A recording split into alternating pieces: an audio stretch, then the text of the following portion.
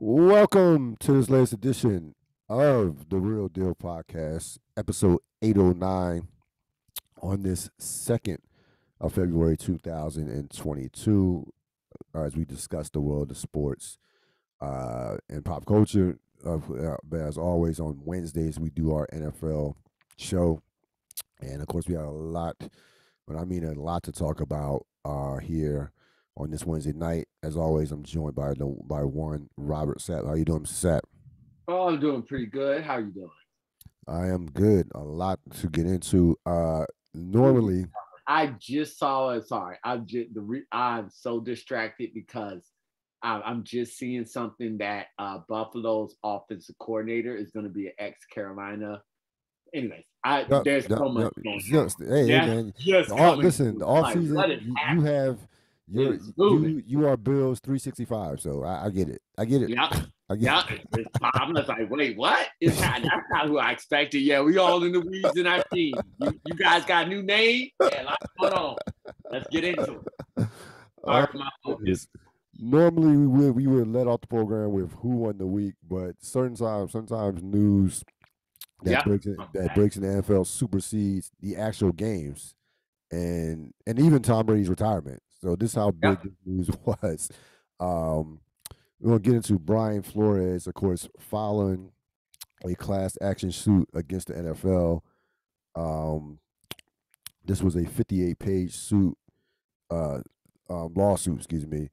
Uh, the ex Miami co- Dolphin coach, who of course coached there for three years, had two winning season seasons, was dismissed by Stephen Ross. Uh, despite, like I said, despite finishing the season at eight and one, um, some of the again there were a number of of, of of things that he was talked about in this lawsuit and things that he's talked about on on television in regards to it, in regards to this. These are just some of the main main things um, that I took away from it. Of course, you have um, of course he's suing the NFL for uh, trying to sue the NFL for uh, suing the NFL for racism alle- for racism and racist practices that they've had, you know, basically for the since the beginning of time. Yep. Um, that's certainly nothing new, especially against uh against uh African American coaches, um, and players in general. To be honest with you, we're gonna go back to his, you know, to the back in the day, day in regards to when there was a time when there were no black players on teams. Um, but the main things that came out of his lawsuit were the Belichick Belichick text. Um, if you haven't heard, uh, Bill Belichick, of course, coach of New England Patriots, and who who uh, Flores was form, formerly worked uh, under as the defensive coordinator on some on on on three of those Super Bowl teams, and in the last you know six years, he coordinated that defense that shut down the Rams and held them to three points, and that's how he got the uh, Miami job. Uh, Belichick sent him a text accidentally, thinking that he was Brian the Ball Daboll, who was formerly the offensive coordinator of the Buffalo Bills. And of course, Daboll was hired by New York Giants. He sends the text uh, on a Monday. Uh, Flores sees the text and basically says, "Hey, you know, you sure, you sure you got the wrong, you sure you got the right Brian?" And then Belichick checks himself like, "Oh, damn, I fucked this up. Uh, you know, my bad. Basically, my bad." And did his initials BB. And at that point, of course, uh, Flores knew having with that text being sent on a Monday, the interview being on a Thursday, he knew going to that interview that there was no chance that he was going to get that job. Of course, he was, you know, a victim of the the Rooney Rule that has been in uh, in place since 2002, which has not done has done next to nothing as far as advancement, as far as head coaching uh, positions. Uh, so you had that going. You had the Broncos interview in which he alleged that Elway and another uh, executive of, of Denver, of Denver Broncos came in drunk an hour late. Uh, of course, they they vehemently deny that. The Broncos put out a statement today, and Stephen Ross, the owner of the Miami Dolphins, who allegedly paid Flores hundred thousand dollars a game, or offered to pay Flores hundred thousand dollars a game to lose games back in that two thousand and uh, nineteen season. Of course, if you remember, that was the season where Joe Burrow was going to be the number one pick. He wanted him to be. He wanted. They wanted to get Burrow in the 2020 draft. Flores refused to lose games. He walked off the yacht. Matter of fact, he also Ross. He also accuses Ross of having him wanting him to illegally recruit a a prominent quarterback. And there was a meeting that Ross had set up with that prominent quarterback, in which Flores, soon as Flores came up to came up came on a yacht on a yacht, Flores saw saw the guy and immediately left that meeting. Um, so, might need to be be uh, get some security around himself. He's giving up all the secrets. Yeah, it, this is ooh, this, he's giving up all the dirty yeah, dealings of the NFL that, is, that they know they don't want the public to know. It's it's a lot. Um, yeah. so here, here's the thing. Ooh. Um, I was when I like when I first heard about this, it was like happening fast. Like stuff. This I was like, okay. When I first heard, my immediate thoughts when I first heard about this, I was on my way to on my way to work, saw it, you know, checking just the ESPN app, uh, which I you know tend to do time to time, and I see this, read this story, and, and my immediate thought, first immediate thought was like, yep, he's done. His career in coaching is over.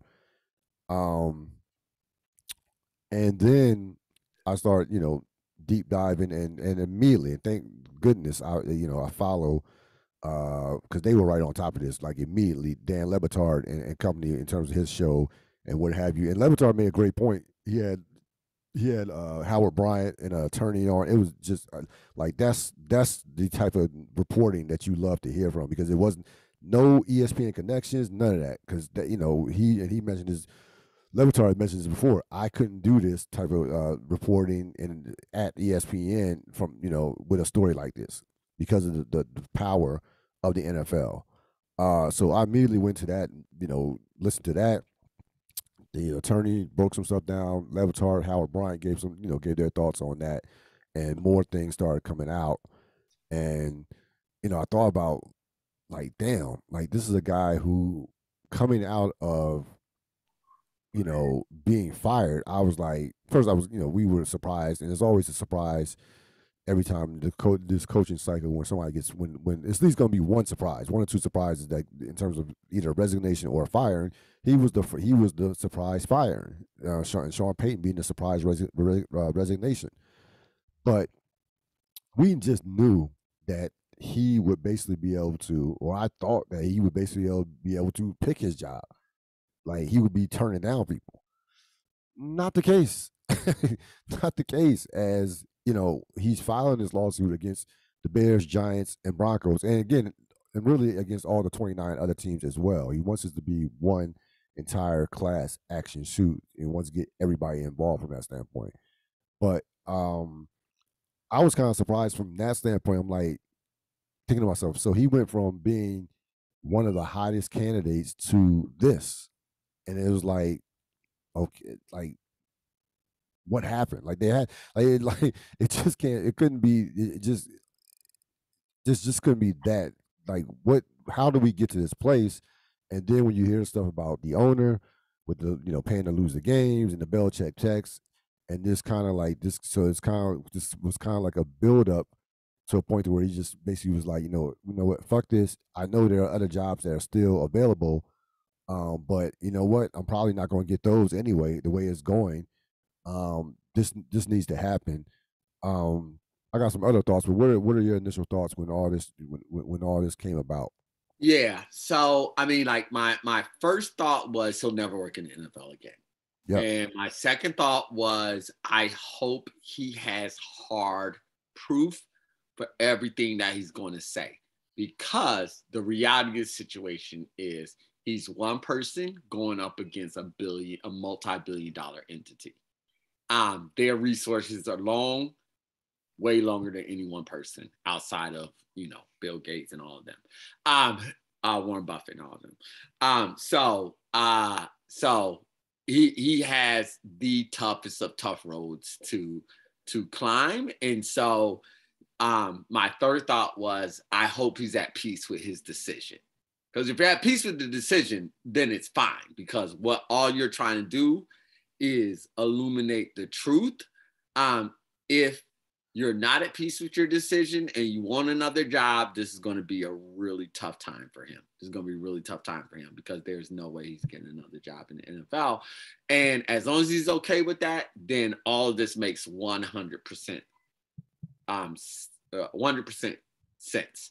Everybody's going to deny everything that he says. Absolutely. Everybody's going to deny it. So, um you know, without without the hard proof for each of the allegations, it's going to be a challenge for him to come out of this and look like the like the win. It sounds like he's going more scorched earth, which is what it is. If he can, if he, it's kind of like how you know you play a game against a more talented team, and you just muddy up the game to try and give yourself yep. a chance. Yep. So he's just muddying up the NFL right now, trying to just just muddying up the NFL, and that's good enough for him. Then then honestly, he'll probably come out as a winner. If he's if if if it's just like you know what, I just want to stick it to my former employer for a little bit, um, then then he's gonna come out a on this because they look bad. They look bad right now. Um, with that being with that being said, uh, I my hope then fourth, my hope is even though he won't ever get a job again, that through these actions and through some investigation and public pressure and yada yada, you know how all that goes. Right. That maybe there's a shift in some of the practices. But let me tell you, I'm not holding my breath. No. Um, first of all, I don't think that they're I, I I'll say this to be honest with you. I don't think based off again the history of the NFL. Not holding my breath. That there's going to be a shift in practices yeah. Uh, billion dollar owners don't like to be told, are not going to be told what to do. But here, here's the thing. Um, I am, I have all the world. I have all the respect in the world for what Brian Flores is trying to accomplish and for the reasons that he's doing it. This is a complete, to me, selfless act. You're talking about a situation, and I, everything that I've read and heard here in the interviews, I think he understands that he will not coach a, a, another day uh, as a head coach in the NFL. I think I, I generally think I, I generally think he gets to not understand that. I generally think he gets that from that standpoint. Yeah. Um. Anybody that is willing to sacrifice their livelihood, their dream, their lifelong dream for the perceived greater good I have nothing but admiration for. I had nothing but admiration for, you know, even with Colin Kaepernick, of course, um, and even more so Brian Flores, because getting a head coaching job in the NFL or any sport is like you're talking about these, you know, these are very, very special jobs. And these are very these are once in a lifetime jobs. It trying to get a head coaching job in any sport. I mean, there are years and years that you don't hear about guys, and then you they hit 40 and 50, 50 and 55. And it's like, oh, damn, what, what have they been doing all these years? They've been grinding and scraping and clawing and being this video guy, this assistant, that assistant. So it is a long road for a lot of coaches, not most or all. Let's be honest about that. But there, especially for a black coach, it is a long road to get a job like that to get a head coaching job, even a coordinator, even a even a even a coordinator for that matter, offensive, defensive. So for him to sacrifice this, uh, in essence, his career, there to me again, I have nothing but respect for it.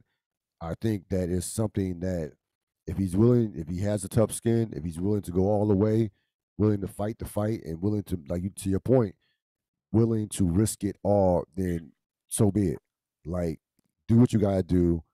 Um, th- nothing comes with disruption. Like, like status quo is not like there's no perfect solution.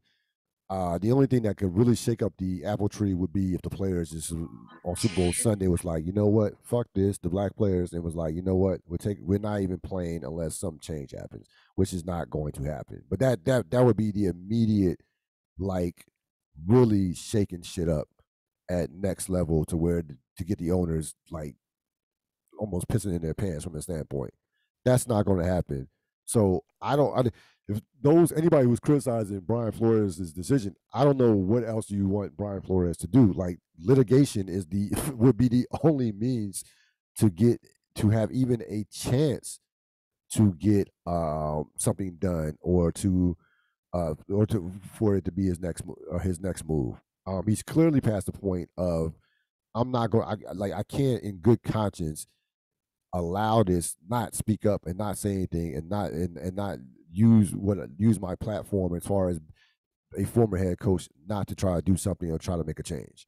I, I can't like there's no other move for him. And you know, the history of our country has told has taught us, especially as African Americans, you know, disruption, um, trying to get shit done. We you like you got we gotta take the like what the Montgomery bus boycott, uh, Operation Breadbasket and the civil rights that went ran for five years. It has to be something that, to your point, is like scorched earth, and it has to be some, in a lot of cases, a form of violence. This is a form of violence. This is like this is like intelligent like litigation is intelligent violence in a sense when you go coming at somebody in the courts so i have like again i have nothing but respect and admiration for it um the question is how many people especially ex black coaches are going to come along with or are, are going to be with him like it's, it's, it's one thing to be on twitter we with you coach we with you coach Flores and giving up the you know the thumbs up and all that other shit are you going are you willing to risk your like future uh, coaching endeavors, possibly if you're trying to get a job again. I, I want to see that.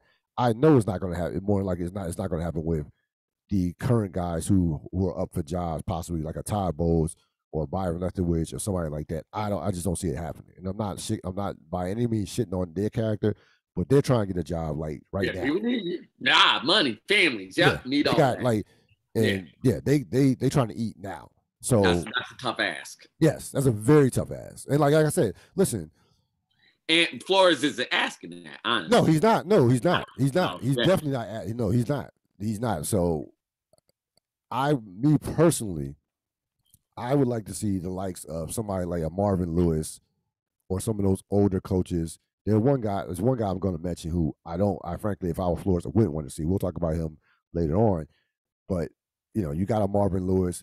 I was looking at Jim like Jim Caldwell. Like Jim Caldwell has every right to be. He should be at the first of the front of his line, considering the, the way he got shit on. Like I, I, I, like it's even like I was looking at his, his record, and it's even more shocking now than it's like, yo, this dude was 28 games over 500 with the Lions. You're like, what?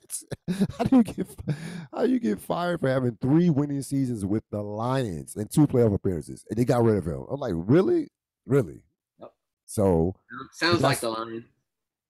But that's been, you know, that's the NFL. That's like it, you got one guy who you have one black coach right now, and he's had never had a losing season. That's the bar. like that's that's the bar. Uh, no room for error. So the question to me is who will be on board with him from that stand? How many allies will he have? Because in a situation like this, similar to Kaepernick, when you're or in any type situation where you're trying to move the needle or be like a revol- the, the life of a, revol- a revolutionary is is a lonely deal. That is not a is is nothing glamorous. Is is is is that is some grinded out.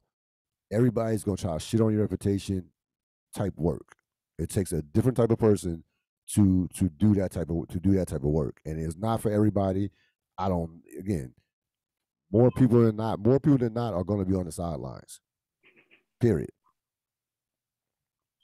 So again, I like I said, I don't blame him whatsoever for for for the action that he's taken. Um, it's clearly something that was building up, and he got pushed to a limit, and it was like, you know what, enough's enough here. Enough's enough. And again, it is a very selfless act. Um, amongst the like he he has again besides the NFL billion dollar you know onslaught that he's going to have to face with the with the in terms of the lawyers, he's also going to involve with his team. He's going to have a he's going to have a challenge, even though even with this week, like this week, he will have the headlines until Sunday when uh when Cincinnati boards to go to LA. After that, it's going to be all about the Super Bowl. So to me, if I'm his team, his agent, his people's around him, I am really doing. I'm like I'm doing every interview possible. I'm doing like I'm really putting together stuff to keep this in the headlines as long as possible beyond just beyond the the the uh, legal lit- the litigation from that standpoint.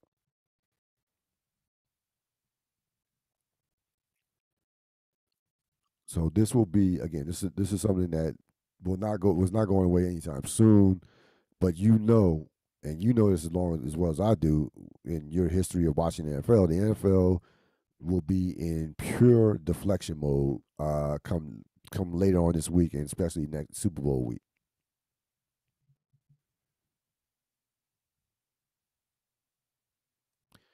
Do you think any black coaches will get a job coming out of this? Like, because you have like this. This is the very beginning of this rail. There's no way we can even ultimately even remotely see where this is going to head.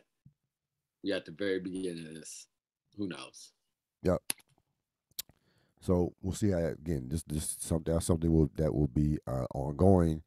Uh, we'll definitely, you know, we'll see we'll see what happens. Uh, getting back to the games that were on the field, um, had again another very competitive and, and, you know not so much a classic weekend as you did the previous weekend, but there was there was no way that you were going to follow up last weekend, which was one of the best if not the best ever. But you still had calm very calm down, calm down. This was a good weekend. This was a good weekend. No, it was good. It was good. It was good. Um, it was I very good. No, it was very good. No, it in terms of narratives, in terms of what the direction of the what the league could be heading, it was no, it was. You're right. It was. It was. It was from it was from that standpoint. The potential is it was tremendous with the potential of what we maybe did this be the beginning of, and um, very good weekend. Um, as far as who won the week, I don't I, like you know all due respect to the Rams, I think you had to say the Cincinnati Bengals won the week. Uh, what are your thoughts? Yeah, I agree. I mean, I guess absolutely. I mean, like uh, the Rams very publicly and obviously went all in for this. So this is exactly what they were designed to do. Cincinnati wasn't designed to do this this year. I think the consensus around, or as close to consensus as you could get outside of Cincinnati, um, in the surrounding area is that the Bengals were young and up and coming, but probably not ready yet.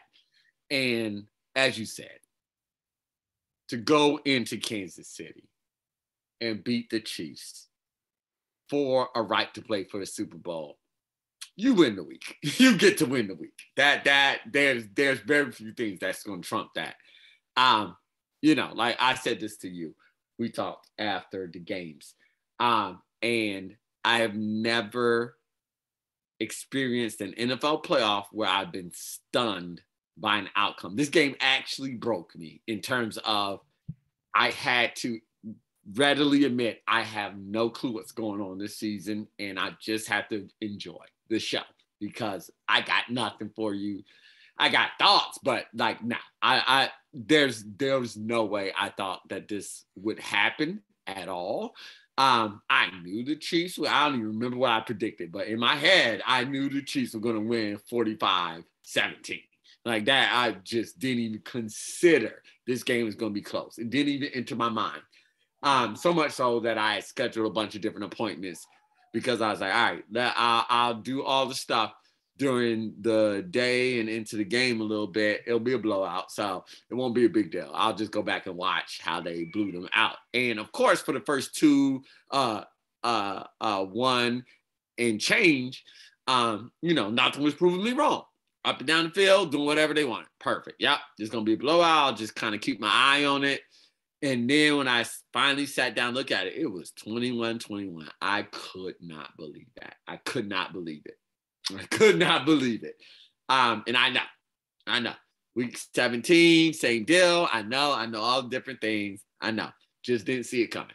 Um, so uh, I say all that to say that um, you know, this this team um in that game, you talk about last week, and I'm glad everyone enjoyed it last week. I really am. I'm glad everyone enjoyed last week. Last week sucked. Last week sucked. This week, I loved. I adored this week. I had so much fun watching that game um, and rewatching that game. Uh, and so uh, so um, it was really impressive to see a young team take another team's best punch and then respond. Um, a lot of people just want a team to come out and dominate. And guess what? That's not how majority of NFL games are won. They're close. They're tight. You're down. You got to come back. All those things have to happen in a season, in a championship season. And so, um, with that being said, uh, it was, you know, the game is four quarters. It was an impressive showing of not only um, fortitude, but then after that, gamesmanship um, and knowledge of your and knowledge of your opponent. Um, Cincinnati checked all of the boxes, all the boxes. Me, you spoke offline last week um, about. Oh wait, it might have been during the show um, where we talked about the coaches and you put a terrifying thought in my my head when we talking about Sean Payton potentially being a Bengals head coach. Well, that's out the window because Zac Taylor, you can't let Zac Taylor's there. Zac Taylor's there. You can't break up what's going on. This is this is different. This is new. This is a different type of energy. Um, and uh, you have to give them all of the respect in the world. This game and the Green Bay game stunned me um, and Cincinnati put the final nail in the coffin for my ability to have any confidence at picking the winner of this Super Bowl. Any. Yeah, I I was more stunned with this game than I was actually even the Green Bay game. To be honest with you, um, yeah, you called you were on San Francisco because I yes, yeah, you were on San. I had. I didn't think no, I didn't think San Francisco would beat Green Bay. Really quick, real. I had you beating the drum for San Francisco because I kept being like, they're gonna lose, they're gonna lose.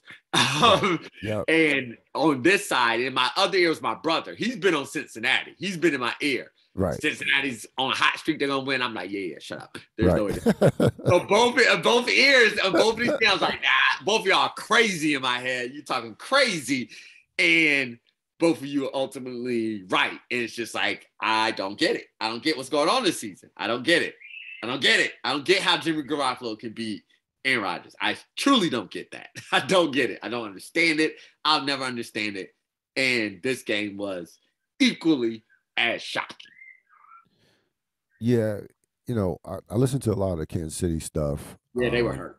They were they hurt. were hurt. Ooh, they were um, hurt. They were hurt. I drank in their pain very yeah, much. They, they, they were hurt.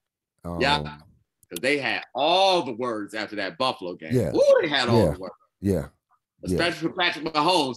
Mahomes could do no wrong at that point in time. No. You could do no, no. wrong. Uh oh. What a difference a week makes. Sorry. Yeah. So here, here's the thing, and like I expect fans to say this. You know, uh, I expect fans to be fans. Yeah. Like I heard a couple. You know, the radio show, uh, the, the radio I guess the radio the radio people were were, were way, especially the, the Kansas City play by play people were were way more level headed. Um, they, you know, they gave Cincinnati credit they uh, said, you know, we need uh, another piece as far as offensively, and I was like, eh, you got. Which makes me laugh. Which I, makes me laugh. comical. Get out of my like, face. Sure. Get out sure. of my face. Yeah, come on, like really. Most teams in the league are rolling their eyes. Like yes. really, yeah. three yeah. Hall of Famers on offense. Yeah, not you have two nuclear Sorry. On, yeah, nah, no. Yeah, yeah, boo hoo, boo no, hoo for yeah, you. No, but um, in the Hall of Fame coach, boo hoo. Right. Yeah. Greatest offensive mind of a generation, boo hoo, boo hoo. But I heard, I did, I mean, I did hear, I, I did hear the C word. I heard the C word. And of course, we choke. know that. Yeah. The yeah. choke. choke. Choke. And I'm like, and then, you know, I rewatched the second half, in, yeah. in particular the the Kansas City possessions, because I just wanted, yeah. to, I wanted to get a better sense on what happened. Yeah. And I'm gonna be honest with you, eh, Cincinnati took that shit. That wasn't that's not a choke job. Their defensive coverages, they mixed up their coverages. They did a great job at disguising coverages, mixing up coverages. I'm gonna pause you right there, bro. I'm they did because I see where you're going. I'm pausing you. Hold on, hold on, no, hold on. And this one, I'm just gonna say two things can be true at once. That's gonna be my next right. argument. I think they, both arguments are true. They here's what here's why I say it's not. I, I don't believe it's a choke. They like I said, the coverages they uh they just did a tremendous job in terms of like mixing them up. They did three man, four man. They they blitz when they rarely and they that matter of fact the the biggest play, the second biggest play of the game, the biggest play was of course what happened before the half that gave that that kept them kept Cincinnati in the game and took points off the board for Kansas City. But the, the second biggest play, that was the biggest play. The second biggest play was the uh when the, the, the Hill, the defensive lineman interception. That came because of a blitz that that came because of the blitz that that that Mahomes didn't see coming. That that, that caught Mahomes off guard, rushed the throw. The guy made a great play. Uh, my point is like we can't sit up here and again we we toss that word aside way too often in sports. It's easy. It's an easy go to. I get it. 21-6, uh, 20, 16 point lead. 21 3, you're supposed to win a game. I'm not I'm not denying that whatsoever. 21 3, you cannot lose a game. You're supposed to win. You're supposed to win the game. I, I absolutely get it. And if I were Kansas City Chief, I wouldn't be able to sleep for until next until the draft, maybe until September. That's that's that's how bad this one this one was. And we'll talk more about this loss as a comparisons to some of the others in, in, in this run. But I can't sit up here and I again I rewatched that especially Kansas see possessions without saying, or what happened in week a few weeks ago.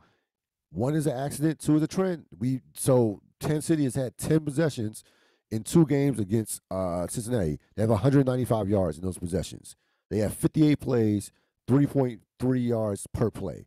So that, that like that says something to me. That, that that's telling me that adjustments clearly are being made, and they clearly have a beat as the game goes on along on Patrick Mahomes. And in that game, now I will say this: Mahomes did revert to he reverted back to early season Mahomes. Too much dancing, too much dancing in the pocket, going backwards, doing you know, not being.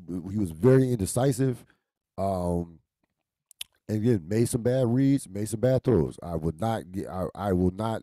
That we we he played one of the worst halves of his career, for that matter. Definitely the worst half he's ever played in a playoff game even when he was shut down in the first AFC Championship against Bill Belichick, he didn't. He wasn't making mistakes like that. That was just a matter of just that's that was his first conference championship game, and that's it's Bill Belichick, and he figured, but he ended up figuring Belichick out, and Belichick couldn't stop him in the second half.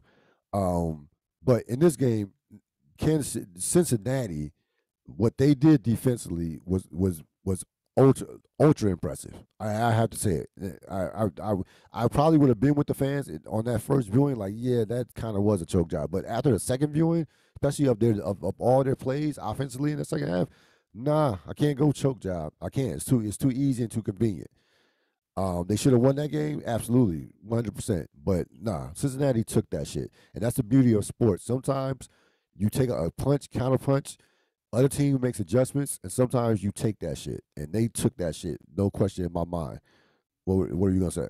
Yeah, two things can be true at once. Everything yes. you said is one hundred percent accurate, and they absolutely did choke as well. Um, and this is how they choked.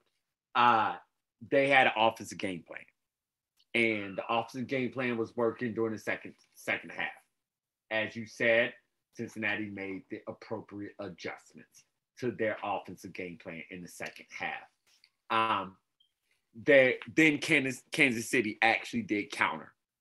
Mahomes said it himself in a press conference after the game about he's t- they they specifically asking him about the play at the end of the half, but it's indicative of the whole entire game. He said, "I got greedy." And what that means is instead of taking the things that were available for him, he kept going for the home home run. When you're up by 11 when you're up by 11. And so um, here's what I would say. If you want to locate the choke job to two people, then I'll be fine with it. And the choke job to those two people are Andy Reid and Patrick Mahomes. Nobody wants to say it, especially Kansas City Chiefs fans. Right. Um, uh, nobody wants to say it, but it is absolutely true. The Bengals took advantage of the Andy Reid we have always we've always known your brilliant game plan, and I loved it as well. Your brilliant game plan was essentially this. In the Buffalo Bills, we tried this and they crushed us with this because they they're very focused on us. Hopefully, the, Bengals now have their full unadulterated attention as well. Um, we tried this exact same game plan, except the only thing we didn't do was take away what was brilliant about what they did was they took away one rusher and put him put uh, another defender in there. So they just rushed three. We just rushed four and had everybody back. They just rushed three and had that extra one there. And that seemed to gunk up enough of the offensive play for Kansas City. Um, where there's where where it's also choke. What, what I mean by by what I mean by it's a choke job on Andy Reid. Two parts. One is you just played them in week 17. There was very little difference in the defensive game plans that would play. I I watched week 17 after I watched this game twice. So I get your off. I know every offensive possession you're talking about. Um, and then I then I compared it week 17 where Kansas City was also up by 11 and also lost the game by three. It, it played out amazingly similar. So that's the choke job. Um, you saw it and you still did nothing. Um, or you still couldn't, you still couldn't go, you still couldn't go and do anything. So there was nothing surprising. The reason why is is Cincinnati took complete control of Reid's weakness. It was overconfidence. Him and Mahomes. The weakness was, as we know, for being in Philadelphia and being for everything. The main complaint with Reid was he would never run the ball when it was needed. No, I that's a, no, that's right. a tactical thing. I don't think that's no, a no, no, no, no, no, no, no, no. Don't look at the ball. That's over my choke. I'm not saying. I'm not saying. I'm not saying it wasn't tactical. I the start of my argument, real, is two things can be true at once. I'm not disregarding any of your tactical arguments. I'm pointing out the choke as well. The choke is I know what's coming, I know what to do. And for whatever reason, I'm not going to do it in spite of the steamroll that is coming.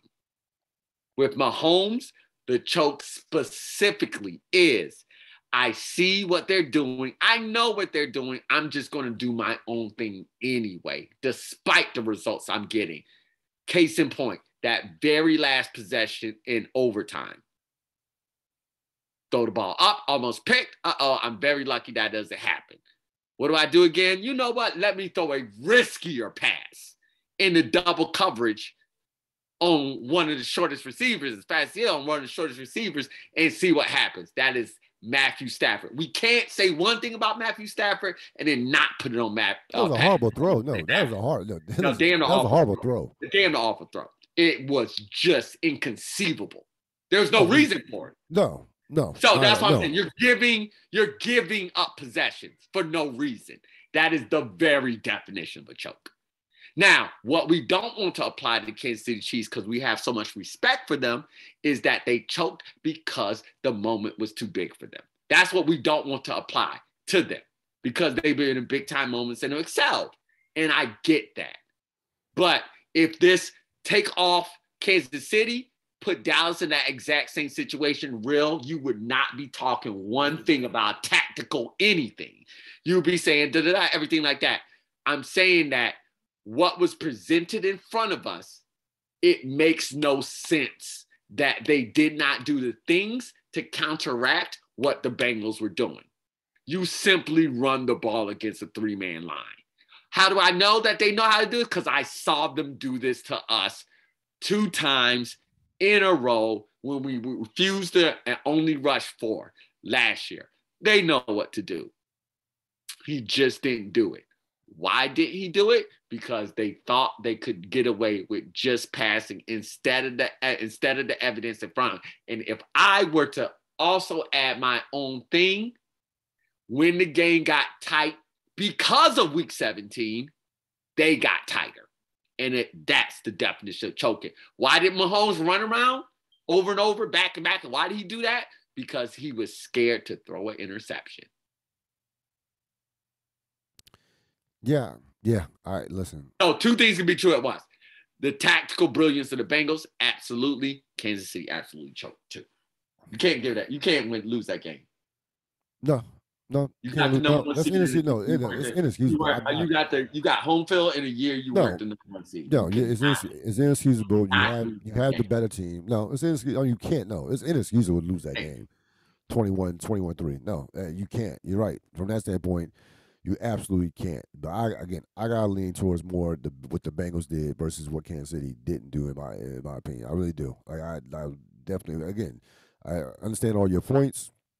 I, it's just two things can be absolutely right. true at once. Because all your arguments that you're saying, where was that when Peyton Manning was losing to um, San Diego? You know, there's there's lots of historical things where we've applied that choke to to examples, but the tactical brilliance of the other team was ignored as well. Right. And so it's like, yup, two things need to happen. You can't have I a guess- choke without I guess, I guess the doing tactical things.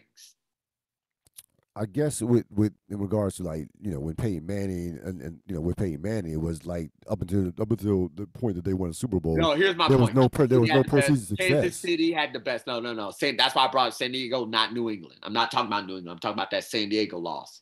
Um, Oh yeah, Uh, that, that no, that was yeah, a choke. No, see, that, that's yeah, what I'm saying. That's what I'm saying. Here's, yeah, see, that's what I'm saying. Here's the Yep. point. Our main point was they had the better team. They had home field Yes. and lost. You got to win the game. It. Yep, Can't do win the game. They had the better team. They had home field advantage. They lost. Yeah, nah, you can't you can't lose that game under any circumstances. Nope. Sure can. um, you know, we look at this four year run they've had. Um, I- like I, run. I don't think that Good. I don't think there's any question that this is the worst in terms of their losses. Like, uh, you know, you go back to their first championship uh appearance, they lose in New England. They lose to you know Belichick, Brady. You had the game ones from if a guy doesn't jump off sides, losing overtime. Okay, Mahomes first go at it, even though it was at home. That still was New England. All right, cool. Come back next year, win the Super Bowl. Come back on San Francisco, down by ten in the fourth quarter.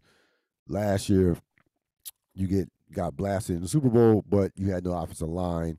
We know what happened. Go. We know what happened going into that game as far as what the the field, and we we neither one of us like different, especially going to playoff games, Super Bowl games. We've seen that that move before. So even that one, I could be like, all right. And New and Tampa Bay was loaded with with talent. Tampa Bay probably had a deeper roster when you looked at it than they did. When ultimately, um, this year it was like no. This year it was laid out for them to no Tom Brady, no Aaron Rodgers. Uh, you're rolling going into the playoffs. Mahomes is playing as well as he's ever played. Uh, I just didn't see this one coming. And this year, this this one would hurt. If I were a Kansas City fan, this one would be the most painful one out of this four year run. I would feel like like you talk get back to that twenty that two oh five. They hurt. They, They hurt. No, they hurting. definitely hurt. No, This one hurt. This one hurt. No, it had to. They I mean, knew. Like, I knew they won. They knew they were going to the Super Bowl. Yes. They knew it. And Not only did they knew they was going to the Super Bowl, they knew they was winning the Super Bowl. Yeah, you, this one you don't like it's hard enough to win championships. You don't you don't you don't give away championships. You can't. Uh, You we- can't waste. Yeah, I mean, they, they all know. Everybody knows it. They know it. You can't You- waste these opportunities. Um, I mean, we can go back to a different sport. You know, 2011 Miami Heat. They wasted that one. There's no way they should have lost that Dallas team. I, I'm going to this sport. You know the one I go to. Um, Oh, Seattle. Oh yeah. the Oh yeah, yeah, yeah. Oh yeah, yeah, yeah. yeah. No, can't do it. Can't do it. Yeah. Can't do it. No, And how many Super Bowls have they been since? none. Exactly. They have. They never. They never recovered from that loss. I mean, uh, you know, Atlanta Can't do it. You just can't, can't do, do it. it. Atlanta. You They, throw away these opportunities. Can't- they can't. just it's too many things that have to go right Yes. in order for you to get here. The variables are too much. Yep. I mean, what are the chances Mahomes, Hill, and and um Kelce get through a season healthy? Yep. Right? Like it's That's, just that's it yeah. just is amazingly hard. It Yep. just is amazingly hard. And when things break right for you, you gotta take advantage of them. Yeah. You It was right. It was right there in front of them. It was, it, it was right. Just right there. Home home playoff games. Um. Yeah. No. It like everything went your way. Uh, and the, and the thing about it, losing to a team that is on the come up. You know, Yeah. if it's one thing to lose to Buffalo in the AFC Championship. Okay, Buffalo, you know, has been building. They we took they you know we they beat us we beat them last year. They've been coming at us. They're chipping at. They've been chipping our heels for like two years now. You know that's one thing. All right, but you lose to a team that basically came out of nowhere. That was four. That was four and twelve last year. Uh, with a bad offensive line, and we know they have talent. Yeah, they have talent, but hadn't took those steps of progression. That's a rough one. Like that, that, that that's that's that, that's a rough one. This is not. This is what makes the season so crazy. This is not the traditional trajectory of a team uh champion going to a champion going to a Super Bowl. It's just not. unless they have that dude. and they I'm have that starting dude. Yes. get concerned that Burrow might be very great. Like this, you know, like you know where I go. This reeks of that 2001 New England team, right? Like where it's just like, what is even happening? How are you here? And who is this person doing all of this? What? And so it's just like if I- you look listen, at I, I Burrow's wanna- number. I- listen. I'm Burrow could let me tell you something. Burrow could be that dude, but it's still like there. It's and we'll we, we can talk more about this. We, we can kind of we can get to the next game, but then we can talk more about this in terms of where we think this this uh talk about the shift. Uh, let's get to um in, terms of what's coming. Um, but again, one last thing about Burrow. We'll, we'll talk more about Burrow, but and you mentioned this uh, during our conversation. I've seen many of games, playoff games, where a team's getting their ass kicked on the road and the quarterback shits in his pants and the next that, that game goes from 17 3 uh 14 3 to 28 3 or 30 like that that game just gets the game just gets out of control with turnovers and bad decisions burrow though didn't do anything in the first half didn't do anything to win it so much in the first half but more importantly he did not do anything to lose it in that first half There you go. and we know most of these games, most of these playoff games are not so much won but lost. Yep. And that, Ask the Kansas City Chiefs. Ha yeah, exactly. Oh, yeah, you love it. Yeah, yeah, I know. Yeah. I do. I do love it. I do. And unashamed. They had so much mouth, real. They had so much. Oh, I'm sure. Yeah, They- I'm sure. no, no, they had so much mouth. They oh, they was talking shit about the Bills, like coming at the Bills. Yes, yes, they had all the mouth. They Oh, had wow. all the mouth. Nope, yep, they did. They had Wow. all the mouth. All of it. Yeah. Well, uh, Yeah, yeah. Come join us on the couch. Yep. Join. Yep. Right, Join. yep, Yeah. on, don't- sit. Yep, we all here Yeah. We are. Yep. Yep. We all here One, together. one happy family. Yep. watching the Super Bowl. Yep. So all get comfortable. Yeah, all with all. We'll, we'll, Ooh. Yeah. we'll dine on our hopes and dreams. Yep. That's what we'll do. Drink our tears Uh, together. yes. Buffalo, um, Kansas City. So we get to the NFC Championship game. Uh, this course, the Rams coming up big, uh, 20 to 17 against the San Francisco 49ers. This they they snapped a six game losing streak to their nemesis, the San Francisco 49ers. Um, a a performance that the Rams had to dig deep. Um, I was so confident that 40, the 49ers were going to win this game. I was almost too, too confident um, because I, I just the momentum, hot defense, not trusting you know Stafford all the way, even though he had played played extremely well through the first two games, and things were going the way I thought they could go through the first three quarters. Um, San Francisco, you know, uh, they're up 17-7. Jimmy G is playing decently. Um, the Ram offense was, you know, was able to move the ball, but not able to finish drives. McVay making just asinine, you know, decisions with the timeouts and the challenges, doing doing dumb, you know. Sometimes McVay gets into his own head uh, with some of these, you know. I guess I, the the pressure of play calling and clock time management kind of gets to him because he is the play caller. But you know, 17-7 was extremely confident the way this game was going. Um, but that damn Cooper Kupp, um, he, and again, San Francisco. Keep this also in mind too. San Francisco had about half the crowd. That was not a home game for the Rams. I was like, I've never seen anything like this in my life in a championship game where it's basically 50-50 with the fan split. I like this is this is wild. Um, and those fans were loud on both sides. Getting those fans, the, the fans in both the crowds were the MVPs. They got they caused a number, a couple penalties in terms of delay of games and off and false starts and what have you. Uh, those, that was a great crowd, both ways. Um, but the Rams, you gotta give the Rams all the credit in the world. Um, they did something that we didn't think that they were capable of doing. You know, about a month ago. um, that was physical play, and they matched and they matched the physicality, and then so with the San Francisco, and also having to dig deep and win a win a close win a game where they didn't score a lot of points. Like we, if I would have told you this game was gonna be twenty and seventeen, I would have said San Francisco winning this game. If, I, if you had told me that that was gonna be the score, uh, I would, I would without question San Francisco was winning that game. Um, but the Rams, um, in the fourth quarter, um, once the interception was dropped, and I want to say this about that interception that was dropped by uh by the safety. I know it was a big play. I understand it was a big play, but let's not let's not assume that San Francisco was going to the way that they the way that the Ram defense was playing and the way San Francisco offense was trending.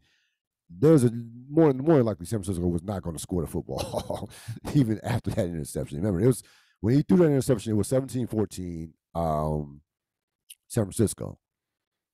Um, so I I don't even think that I be honest with you, I don't think the Ram I don't think San Francisco was going to score even even if the the safety would have caught that and would have caught that interception. Now again, it gave what but what happened is it gave the Rams that that extra lifeline, and after that, Stafford was dominant in the fourth quarter and did not look back uh, as he just you know went nuts with Cooper Kupp just catching passes all over the all over the place. Odell Beckham catching passes all over the place. They got enough of the run game with the 29 rushes and Aaron Donald and Von Aaron Donald in particular just took over the game, especially in that late the second half of, of, of, the fourth quarter, and you know just proving, just just kind of just reminding you, I'm, I'm still the best defensive player, regardless of what happens with the, the defensive player of the year. I'm still by far and away the best defensive player in football. Um, what are your thoughts on this on this on on this physical contest? Very physical contest. I'm, I'm glad you ended there because that's exactly where I want to start. Rams offense, whatever. I want to focus on the defense. Yeah. Um, the the like yes, but he doesn't give a damn about the defensive player of the year, anything. He wants the Super Bowl, and he's playing like it.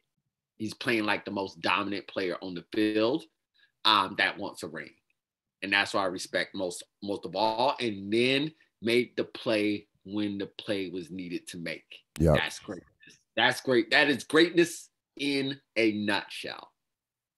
That's that's what is supposed to happen at this time of year. My favorite shot um, after watching the game the second time was when Aaron Donald had the whole defensive um, uh, uh, group there, and in the broadcast they said I remember at the time they said um, was uh, you know he doesn't speak out a lot, but when he speaks, everybody listens, right? Yep. Um, and so and so a lot of times there's lots of shots of that throughout the course of the season and everything like that. Absolutely. And a lot of times it's cheesy, it doesn't really change anything around and everything like that. And again, that's why it was so important that he was the one that made the play. He not only talked to talk, he walked to walk, and that's why the players listened to, to him. Now, to your physical point, the defense rose to match that challenge. And that's what was unclear going into the playoffs. At that point in time, the defense was still very much finding their foot and, and definitely hadn't shown that level of aggression. Definitely hadn't shown that. Um, and so what I did say on the on to you, to my brother, to anybody who I was talking football with, and on this show actually, was that what I have always respected about the Rams, particularly as it's come to this time, has been that they know this is their one and only shot and they're playing like it.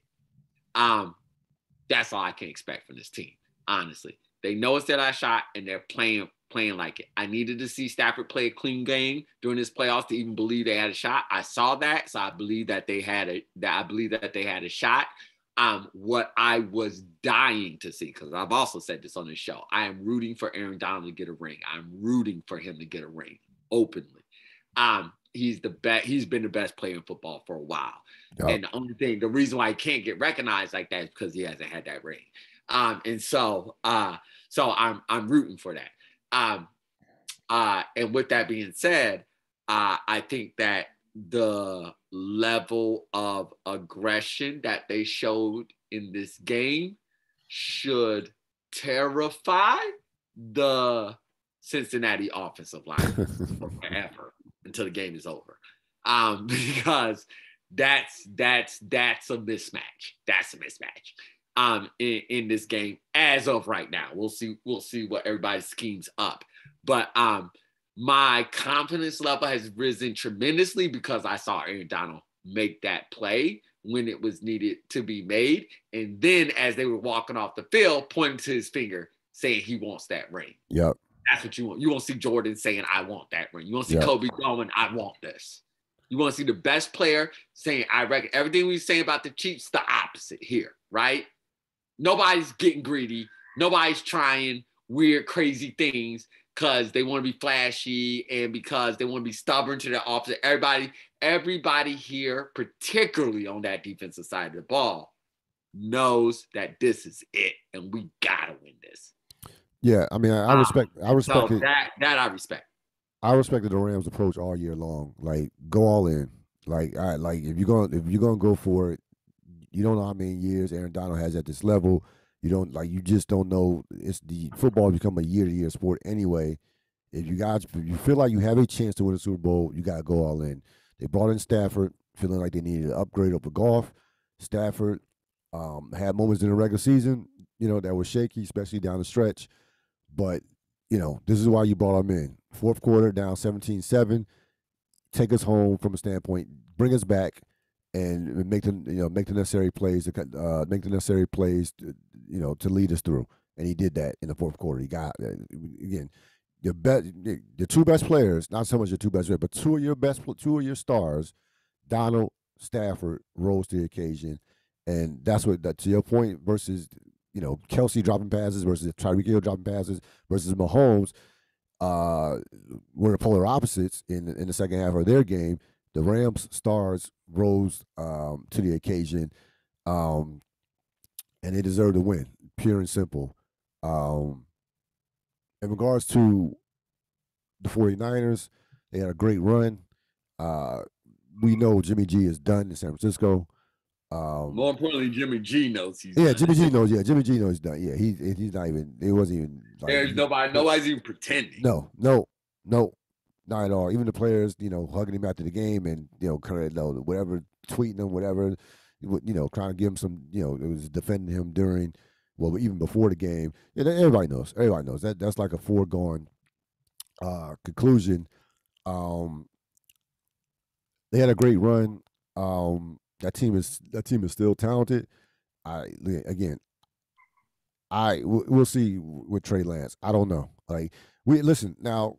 Listen, Shanahan is a is one of the best play callers and and and and quarterback coaches in the league. Period. He the man he knows what he's doing from an offensive standpoint, and we've seen success stories of quarterbacks sitting for one year. We saw it after sitting for one year. We saw it after we saw it from uh, Mahomes. Yeah, you don't even have to go far. It's Mahomes. Yeah. Mahomes and Aaron Rodgers are the best examples. Yes, those recent in recent memory. Yes, I mean Rodgers had three years, so he Trey Lance didn't get a lot of burn, but he did he did sit for a year. Okay? So it's not actually like- used to be how quarterbacks are developed. yes, that used to be yes back in like way back when, um, and you know they ready to turn over the leaves to to get him. Cool, we'll see how that works out. Um, I'll get on the Jimmy G stuff. I got some Jimmy G stuff later on. I'll, I'll get with, but you know, you look at the bottom line is they never forgave Jimmy G for what happened in the Super Bowl a couple years ago. They just it just like they really thought they really think that in this run they should they should have should have won that Super Bowl. They never forgave him ultimately for what happened in that game uh in that Super Bowl. That's to me what did even before this season, even again, you know, with the injuries, no, it came down to that game against Kansas City. They felt like he lost that game for him, and Kansas City shouldn't even been in a position to steal that game at the end. They never he they never forgave him as an organization, as a coaching staff for that particular game. Um, and Shanahan, you know, listen, Shanahan, it is obvious when you watch how those games are called, how Shanahan calls the games that he doesn't trust Jimmy G. Like, it, like it- it's just it is what it is. Being, and I'm not even a San Francisco fan. I'm just as a NFL observer of just watching football and watching the 49ers play. Um, he doesn't trust that quarterback. So he's going to get his wish. He's going to be going next year. They'll trade off for some compensation. Um, and you know we'll see what happens. Uh, now, now similar again. He's gonna be he's in a similar position as as McVay. The difference is you're going with a unknown versus a known. McVay said McVay said, you know what, Goff is the problem. Give me give me Stafford. We'll be in the Super Bowl. It paid off. They're in the Super Bowl. They got Stafford. Shanahan, sim, again, very similar situations. Both have come knocking at the door with the Super Bowls. Both have been to Super Bowls. Both, I mean, McVay's been a little bit more successful. Um, San Francisco's been up and down. Haven't had really consecutive years of winning. Um, but they both very good coaches. Both considered to be top offensive minds in this league. Um, and again, in a very similar situation that McVay was in last year. So we'll see how that turns out. Uh, as far as McVay, listen, you gotta, you know, you gotta win the game. Period. This team was built to win the game. You gotta go out there and win the game. But McVay, what you can say, McVay, since he's gotten there, the team has been extremely, extremely consistent, to say the least. That team has been that team is very well coached. Uh, they don't have like, you know, we I've seen years because I've seen I've seen years where Atlanta would like win 12 games and then next thing you know they're seven and nine. And I've seen years where Carolina is 13 and three and then they go to six and ten. So it's something to be said about year in and year out consistency. Uh, so you gotta give McVay credit from that standpoint. But second Super Bowl appearance, you learn from the learn from the first. You got to go out there and win the game, pure and simple. And they know that they are they, they're all in. They and they they know that. So this will be again second Super Bowl appearance in uh, four years. I had plenty of time to talk about that, but that was a very again, we knew it was going to be a good game. Uh, division rivals in the championship games are always special to me because uh, they both they and they that two, those two teams, especially in state, those two teams hate each other. I mean, they hate each other uh, to a you know, and rightfully so. The Rams, San Francisco, have been kicking their ass for basically the last two years. So, um, you know, San, uh, Rams get their revenge at the perfect time, and we'll see uh, what transpires in the uh, Super Bowl. Biggest disappointments, I don't think there's any questions the Kansas City Chiefs. Um, and again, we're not here to shit on their success over four years. We know four straight AFC championships is nothing to sneeze at, and two Super Bowl appearances, a Super Bowl win. But the bottom line is, you know, Mahomes has been regarded as the best quarterback in the sport over, over that time period. Andy Reid, one of the best top two coaches, and they only have they have one Super Bowl to show for it, and they've had two back to back losses in where they were got their doors blown off in the Super Bowl and they lose a home game against a team that was a 125 to 1 had 125 to 1 odds to win the Super Bowl before the season. So that is a, a that that that is a loss that they that bad. Oh, I saw you. that too. I'm like, oh man. Oh yeah, somebody had. Oh my sweet goodness! Bet. Yeah, that's a sweet bet if you made Ooh. it. Oh, that's a sweet bet. One twenty-five to one. I would have never been able to make it, but man, if you made that one, yes, yep. that's good. That's yep. good money. Hey, you deserve it. If you made that one, you, you deserve good money. it. Um, Jimmy G detractors. I, I'll say this, and again, I've defended Jimmy G somewhat on this podcast. Um, Jimmy G has a great regular season record. He's four and uh, five and two in the playoffs, or four and two in the playoffs. Been to a Super Bowl, been to a couple conference championship games. I guess I guess people who want to just knock Jimmy G, I guess I, I, would have to ask, what are your expectations? Like I, I I never known Jimmy G or anybody to think that Jimmy G is an all time quarterback. Or I've never I never we never held him in that high of regard. Um, I think people got caught up a little bit with the narrative that he was just this bad quarterback, and I'm like, no, he's actually not a bad quarterback. I'm not saying he's now he's not somebody that's going to take you to the next level, but you can actually win a lot of games with Jimmy G. So I guess I guess I would have to ask again the detractors, what were your what are your expectations? What were your expectations? What you know? What are your thoughts? And by the way, I don't have any problem with them getting rid of Jimmy G had no problem with it. I, I totally understand it. You don't feel like this guy can take you to the next level. Cool. You better you you better get it right with the next guy. But uh, again, I, I think I always find it hilarious when people jump on a narrative and then kind of take that narrative to an extreme that it shouldn't probably be taken. Uh, what are your thoughts? real. I could not disagree with you more than anything else in life on this one. My great hope for you is that Jimmy G becomes the quarterback for the Commanders, and you will truly learn. And I, we will hear, and you will know. Uh, we will hear, and you will know why everybody's so irritated and annoyed him. It doesn't even matter what we think. His team doesn't trust him, and they showed it. And that's the the most damning thing that can be said at your quarterback. They blamed him for that that Super Bowl loss, and they were absolutely right to blame him. We all saw it. We all saw it, and it was it was he was he that he was scared to win the game. He couldn't figure it out. And as a court as a as a top nine quarterback, that can't be a fault that you have. That's number one. Number two is you're doing a real good job of revisionist history here. But I remember the whole thing because he was the Patriots quarterback. And of course, you know, I pay attention to all Patriots. Yeah. Things right there. After that four games, Jimmy G was the hottest free agent in the world. Yep. Everybody had tremendously high expectations of him. He he at that time ridiculously, as we know, because Belichick rolled his eyes. But literally the question was, should you start Jimmy G over Tom Brady? So yep. don't give me this. People didn't have high expectations. They absolutely did. He was the one that knocked those expectations down. The reason why there's no expect there you don't have those high expectations for him right now because he proved it over and over again. He is not up to the task. So yes, in a way, you are right in this sense. If you are 100% okay with having an injury-prone quarterback, mistake-prone quarterback that can get you into the playoffs but never get you um, past the big game, then Jimmy G is your man. If you want something more, then you have to do more than Jimmy G. What I will also say about the um, that Shanahan, like what is going on with this, is now Shanahan is on the hook for Trey Lance. He has his young 2.0 quarterback, um, part of this new generation of quarterbacks got that, that can also move well outside the pocket and throw. And so that that is the mold, and that's what he saw that he needed to take that next step in his level um, and to level up. Um, so now it's prove it time for him.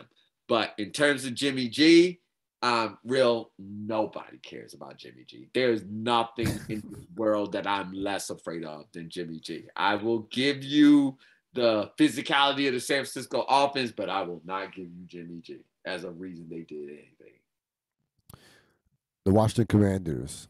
Yep. yep. I hope Commanders get them. Uh, no, I'm talking the Washington. Yeah. The Washington Commanders, the name. Yep. This is what. So this is the two year wait. This is the yeah, new, that's your branded. No, no, that's your football team. Not the name. That's your football team. root for the oh. Washington Commanders. You can say that. The Washington Commanders are my favorite football team. Those need to be words that, that come out your mouth. Oh boy. Oh boy. Oh, yeah. Oh, boy. Your owner's a hot mess, real. You know that, right? He is a hot mess. This is this is literally I have to take the lead on this one. Go this ahead. is literally because we I we've talked about this. This is the easiest layup in the history of layups. You put in that you put a citywide vote out. Right. Best name wins. The name could be corny. It could be corny as all, all hell, but at least the people bought into it because right. they voted for it. Yep. Then you do some type of fan celebration, hot, free hot dogs and beer, whatever. Ice cream doesn't matter. And you unveil the name, everybody applauds and goes home. Yeah, 50% don't like, or let's say 30% don't like it, 40, 40% don't like it, 60%, whatever the thing is. This man managed somehow, some way. DC, this is Washington, DC. We can't agree on anything about anything, anything. He got the whole entire city to hate one thing, which is this name. And then the lies on which this name came about, I'll let you expound on that. Your owner's a hot mess. I, I don't I don't even want to expound on that. Mess. I really don't. Expound. No, expound. You have to. Let your listeners know. Don't do that. You spend a whole segment on um, whoever else. Spend that say put that same energy into your team. No, because I know I'm going to put the same energy. First of all, it's one of the worst names in all that I've ever heard in professional sports. bad. It's so bad. It's, It's, look, so it's bad. literally no. It's I literally, can't believe this is the name they came up it's with. literally It's so one of bad. the worst names I've ever heard in my How? life for How any, can- for any sports how? team, any sports team, college, high school, whatever. It Real, I said this sounds like a rec flag football team name. yes.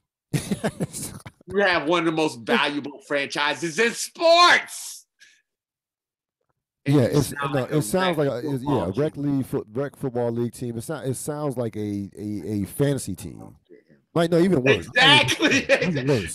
and like like this is like your um your uh fourth grade uh students fantasy football league, right? Like when nobody can come up with any type of creative names. Well, I'll be the uh the um commanders.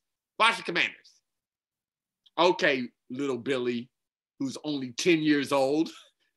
That's a great name that you came up with. Not highly paid grown professionals that have workshopped this for a year. I'm done.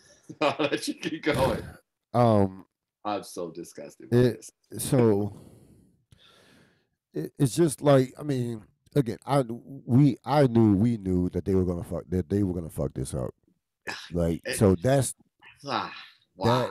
this this doesn't even make sense. it. It was no like we, we I mean again they they messing this up. they You have couldn't play this worse. yeah no you you couldn't play this worse and to again the worst part of it is the two year wait like Two years. Sorry, excuse me. I I took a year away from the the workshopping and the thinking and the brain trust. and I'm like, this is what you wait two. This is two years, and the, this is your rebrand. Like this is your rebrand. And again, it- it- I I understand what Knick fans go through. I understand what Clipper fans were, were going through.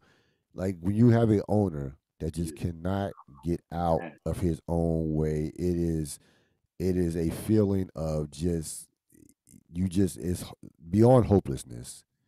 It's like you can't get anything right. It's not even on about the even the on the field product. It goes beyond that. You can't even get fan entertainment in the parking lot right. You can't even get the field right as far as just the the grass. You can't get the sprinkler system spraying people during the game and people splashing waterfalls like there you can't get anything right um and and now again this is the latest of those this is the latest added on to a laundry to a laundry list of things that cannot that they can't get right. And i i just like it, like i said there there are a gazillion names that you could have went with that would have been it was not hard to, to be an improvement from this name. It like you said to your point it was not this whole process it was not a difficult process should have been a difficult process it really shouldn't have i mean they made this out to be as if they were trying to like cure cancer or Crack- something like crack the nuclear codes. Yes, yeah, exactly, exactly. The nuclear Rubik's code, like the Rubik's cube or some shit. It is not that hard. Um. So yeah, so when I saw, it, I was like, yeah, you know what? It it this it doesn't surprise. Even even as disappointed as as not surprised as obviously I expected it to be horrible, but even this was like word, like really, this is this like I I, was- I was even even more. I don't know if how if I was more disappointed or surprised, if not just both. Um, even expecting the worst, which I did. Like even if you expect the worst, like it's it's it's the worst thing when you expect something to be horrible and it turns out to be worse than what you expected. Like that, that's like oh, like what what, like what are we doing here? Like what what are we doing with this?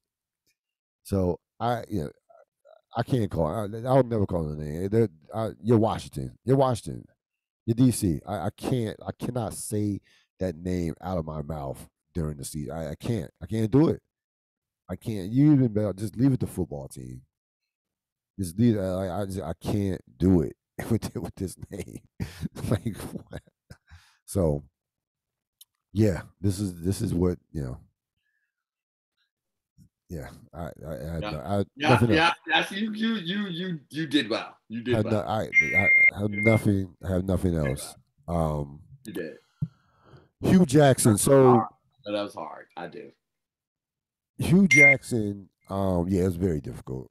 Yeah. Um, so Hue apparently on the heels of you know the the, Brian Flores's uh, lawsuit, Hue Jackson comes out and says uh, that he was paid to lose um, when he was with Cincinnati. If you remember, he, those two years he was with- with Cincinnati, they were like they were one in thirty one in two years, and then they fired him after like seven games in the third year. So three and uh, thirty five, yeah. So three and thirty six, excuse me. So he he was three and uh um three and thirty six. Had an 0 and 16 season, 1 and 15, and again 2 and 5. So three three and 36. He claims that um during those seasons it was about they were trying to they promised him they were gonna be patient.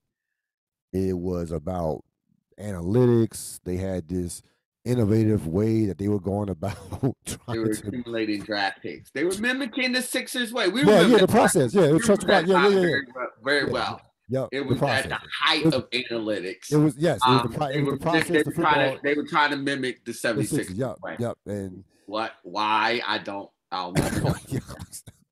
I'm over it. So- that, that that has been that has been proven to be stupid. Yeah. Go ahead. Sorry. So That's what was going on. Though. here, here's here's why Hue Jackson is a disappointment.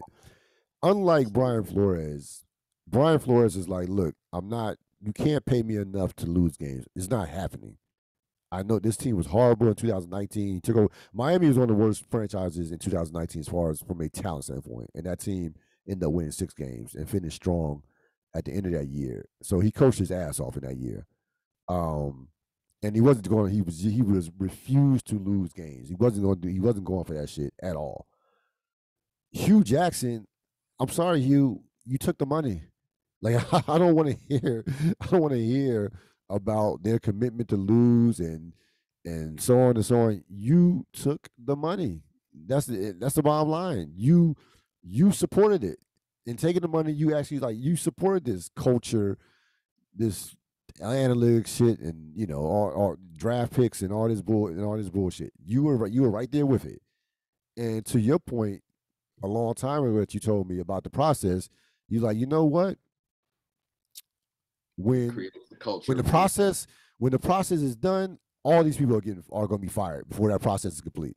Yep. And I would you I wish you could have gave Hue that same advice because Hue should have known better that there was no way that you were going to be able to survive this No many way. losses. No Yeah, way. I don't care what they promise you. I don't care if they promise patience. I no, it just wasn't going to happen. like no, you were part of the experiment, and you paid the price. So I don't care. Like at some point, your integrity has to matter. Like you are a head coach of a football team of a professional organization. I your job, sure your mentality is to win. Real quick, real. I want to make sure we keeping that same energy for Brett Brown though. So don't like like that feels really weird if we're talking about black men and we're holding him to one standard and we're not holding Brett Brown, the white man, to the same standard. Yes. Yeah. No. This is the exact same situation. No, it was no, no, it one hundred percent. No, 100 percent. No, one hundred percent. He subscribed to that. He signed off to it. Um, the difference is they gave him they gave him more. You know, they they actually allowed him to you know to stay in terms of Brett Brown. They gave him more. Uh, they gave him more leeway in terms of uh, more time for it to, to to try to succeed. So he actually made was able to survive until they made the playoffs. So no, he subscribed, but he no to your to your point, he sus- he subscribed to that to that to to uh to all that shit to the analytics to the It's called graphics. losing on purpose. Purpose, yes. He This subscribed to all that, yes. name. He It's yes called he losing on he lost purpose. on purpose. Yes, We are He- not putting a competitive team on the, he- on the floor. Yep. It is not sports. That's No, not sports. That's not no, it's not sports. That's not. He subscribed to it one hundred percent. So yes, at one thousand percent, he was a part of that. He was not. A, com- I don't care what he said. I don't care. What the spin they try to on it. No, he he was he, he's the same, the same. He, he, him and Hue Jackson are one and the same.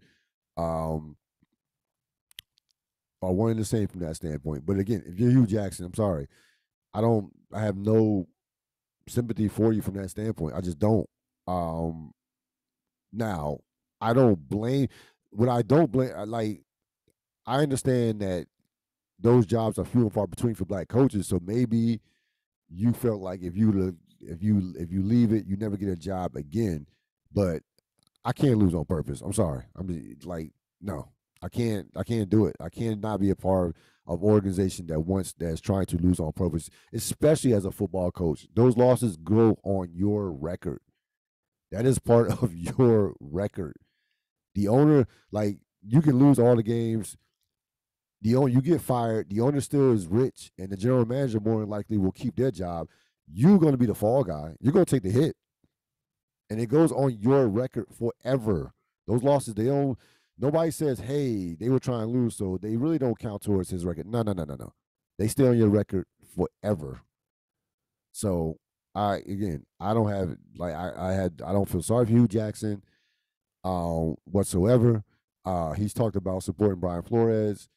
Um, and if I were Brian Flores, I'd be like, I wouldn't maybe publicly say this, but I'd be saying to myself, eh, you we we not the same from that standpoint. I you I would I I fought against that that culture.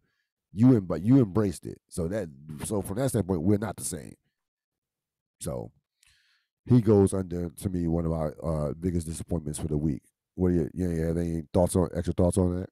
I do. I do. Go I ahead. mean, I I think uh very I think this is an indictment on the Browns organization. I think that's the yes, a thousand percent. But that's I no that's, to, to, your point. To your point, yeah. you have to know. And I don't mean to cut you off, but you have if you're Hue Jackson, the Browns had been terrible, have been terrible forever. You you you you put any faith in their organization. You have to know what you're dealing with with the Browns. For real. Here's what I'm going to say. I believe your mistake here is you are holding NFL coaching job in a higher standard than the NFL coaches actually do um, a paycheck is a paycheck and they're making millions of dollars. So what you're essentially doing is you're saying to me, you want me to execute this vision.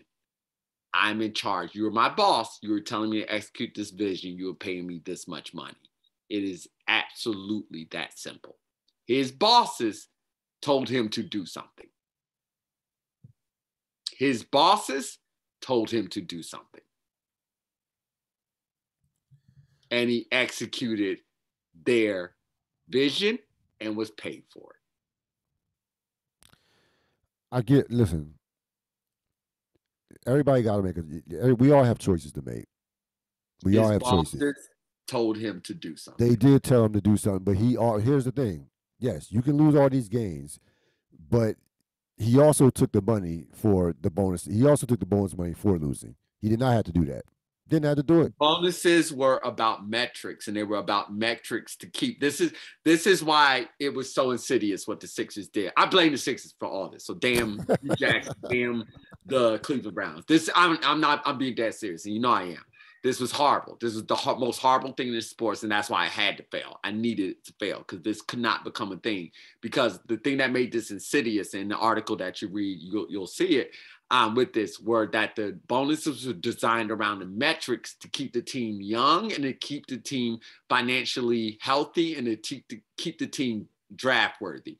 The Sixers wrote the playbook on this and they developed it and then they sent it all over the place and he was speaking and making money, whoever his name was. I don't want to say his name. I remember his name say his name.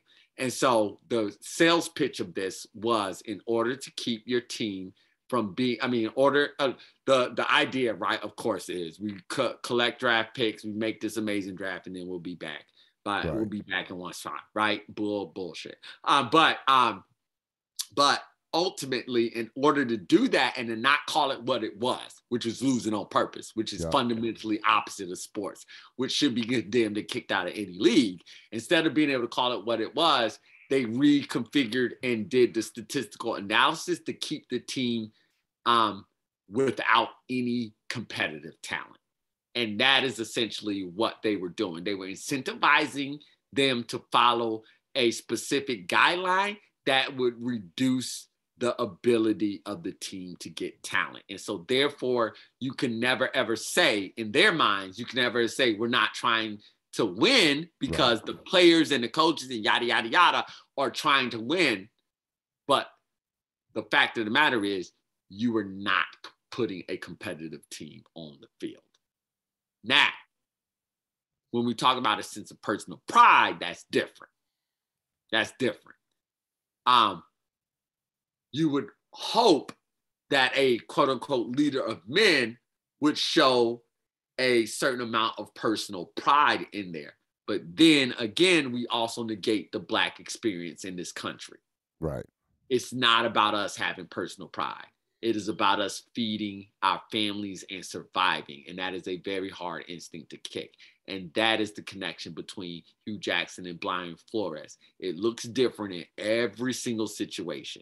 But ultimately, the thing that is there is that in order for you to succeed, you have to walk through the most disorganized messes and make lemons into lemonade. And if you can't do that, then you're out of here sooner rather than later. And you and you better pray we give you a second chance in this league. And that's been the struggle for black head coaches, and that's what they're trying to unite over. Yep. Yep. Yeah, and and, and you made me think of another point with in terms of Brian Flores. Uh, another thing that he's been uh, that he put in a lawsuit was also the you, again, yeah, I'm glad you brought that up with Hue Jackson. The contract structure of African American coaches versus white coaches, like just that situation that you brought up, like yeah, that's like a impossible situation to succeed in. It's not yeah. gonna happen. I mean, like honestly, if we dig, it would just be ugly, which is why the NFL is gonna do everything to stop it. Like if all you gotta do is just pull on the string a little bit, and the whole thing comes apart, just a little bit. Yep. Just a little. You take something simple. Let's look at some contract structures, and you will see the difference. Um, speaking of coaching, um, there have been some new coaching hires uh, in this past week, in the past couple of weeks. Um, yeah, the Raiders with McDaniels, your guy Daboll with the Giants, uh, Nathaniel Hackett to the Broncos, and Matt Eberflus going to the Bears. Uh, what are your thoughts on some of those hires? I think teams don't know what's going on right now. um, so what uh, here's what I mean. Um, none of these guys are. So I was talking about this at work. It used to be that the teams, coaches who were poached were the Super Bowl participant and definitely the Super Bowl winner. Right. Right. Like I'm looking at this list, I'm going, mm, outside of McDaniels, and we'll talk about McDaniels. He's a very special case. We'll talk about McDaniels in a yeah. second. Outside these, outside that, I'm just looking, I'm just like, mm, I don't see anybody that was an offensive coordinator on a Super Bowl winning team here. So again, it looks like teams are um, looking to try to find the coordinator that can spark their quarterback. Again, we're leaving Josh McDaniels to the side for a second. Yeah. And I don't know if that has proven to be the most successful dynamic. Um, I, you know, you never know what is going to happen to the person gets the job. I know my offensive coordinator very well, and I am stunned that he is getting a head coaching job. Um, I heard some whispers out of Buffalo about that. I was I was going to ask you about that. Yeah, yeah, I, heard... yeah, I would say it has been a if we if if I would give him a grade um over this past two years, um, I would say I would give him a B. Okay. B. It's yep. a B. Um, in particular, in working with the quarterback. Yep. In developing quarterback. I'll give him a B. But that's not a head coach's job. Right? right? And in terms of his management of entire offense, I would give him a C minus. I would give him a C minus. Um, the the entire structure of the way our entire offense looks is questionable a lot of the times. And his play calling and management of the game is questionable in a lot of times. And um, uh, specifically, uh, anyways, so um, that's just one side of the ball. We're not even talking about the defense side of the ball. We're not even talking about special teams. We're not talking about how to No, run. That's all. We're not talking about No. John Scott. We're not talking about any of those te- things. And just my instinct uh and watching it is it I I did not see him being a head coach. I, I needed to see more before I would have been ready to be like, okay, he is not. He is he is not a genius offensive mind. I will absolutely tell you that. Um so um Nathaniel and the other bear I don't even care who who those I mean I know I think teams, to your point, I think teams are trying to find. They're Right. trying to that- like this one, this thing. They sure they're just sure um hopefully something sticks um and so you never know there um josh mcdaniels to the raiders this is delicious this is delicious from every single side that this So, could possibly We both don't think he's a head coach. We both know he's not a head coach. Let's let's put that out, out there. here's what i'll say i don't have any clue what josh mcdaniels is or isn't here's what i do know he torpedoed an entire franchise the last time yes, he he was the head coach. I mean, just totally torpedoed it. It was ridiculous. Um, uh, him and uh Chip Kelly. They I watched Yes, them those two. Yes. An Yeah. entire entire franchise. Yes. I was like, what is even happening here? Yeah. Who allows this? Who allows their coaches just to go crazy and hatch, ha- just take a hatchet to great players? Um, so uh, I was uh, here's here. And he turned down so jobs. different- McDaniels there's turned so down jobs. levels to this. There's so many different levels to this. Um, the reason why I would say he's not a head coach is because he had a head coaching opportunity and he said, "Nah, I'm good. I'm going to be the offensive coordinator of the Patriots." Do I believe the job was promised to him eventually that he would be the Patriots head coach? Yep. Do I believe he now believes that Belichick will never ever retire? Yep. Absolutely. All those things are 100% true. All those things are equaling up doesn't make a head coach. And so I'm unclear on what will be different this time um, with him. Now, with that being said, it is a perfect match with the Raiders. It is a perfect match.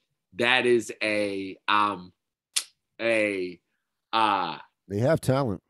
oh yeah, sure, sure, sure. I'm I'm talking about the organization. Oh, you're talking about the culture? Oh, Watch. I got you. yeah, got the yeah, yeah, yeah. They do wild things in in in uh L, in Las Vegas, and um McDaniel's is a wild boy. They like they like like once he gets total control, he, he was a wild he's a wild man. He's a wild man. He's a psycho control freak. Um, I don't know if those instincts were curbed in New England. I can't imagine that they were.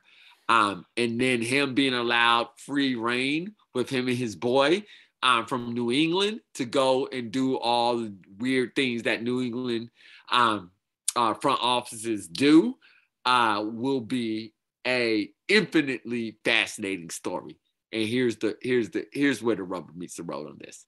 You have a proven entity in the quarterback. Yep. Will Josh McDaniels bend his quote unquote proven offensive system to match what Carr does best? And will Carr appreciate this genius offensive mind coming in? His, you know, third and fourth, you know, how many genius offensive minds have you seen come through them doors these past few years, right? Um, uh, that will put them over the edge. Let me just say, I'm dubious that this works out. I feel very similar to how I felt about how long Gruden would be there. Like I knew there was no way in hell. There was no way in hell he was gonna be there for all 10 years. I don't know the length of this contract, but um, I can pretty much guarantee you there's no way in hell he is finishing out those on the contract. So the Raiders will yet again be paying another head coach to chill on the sidelines. Yeah, I've never been a McDaniel. I've never been a McDaniel, McDaniel's guy. No, who can? Um, By the time he got, by the time he got to where he was, Tom Brady was already amazing. Yes, an all-time great. And Yeah. Nope. only, I mean, we're looking at the we got. I mean, we got to look at the, the Belichick coaching tree as far as offensively. There's one guy who I think like legitimately could coach, and that's Bill O'Brien. Because I saw what he did at Penn State, and before he destroyed Houston as a general manager, he was actually a very good coach. Just couldn't you just don't give him the keys to your team, and that was just stupid. Uh, but the the the, the Belichick offensive guys have not. They haven't been good other places, especially in other pro places. They just Wait, wait, you mean Charlie Weis wasn't successful? Charlie Weis. He wasn't. No, Charlie Weis. I No. forgot about Charlie Weis.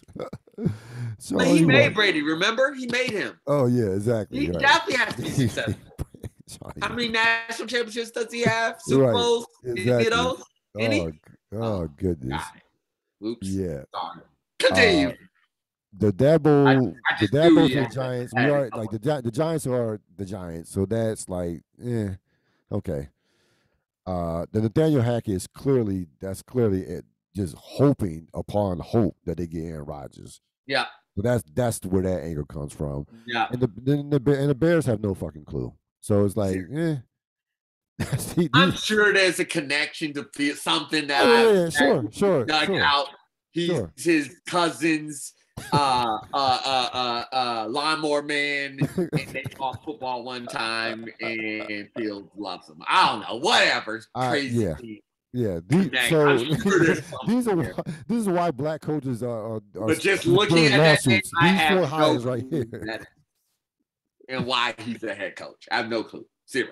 I mean, you got Byron Leftwich who's still out there. You got Eric, Eric Bieniemy. I guess he's just not going. He's going to be like, Uh, yeah, exactly. what, exactly. what, what, what did. Eric Bieniemy do? What did he do? Who did he piss Be, off? be black. Be- That's My what he did. My goodness. That's what he did because Bieniemy's been there for the beginning with Mahomes, and Yes. Daboll has a head coaching job. Yes. right. That? Come on now. yeah. Yeah, man. Ain't no racist practices in the NFL. Okay. Yeah, yeah.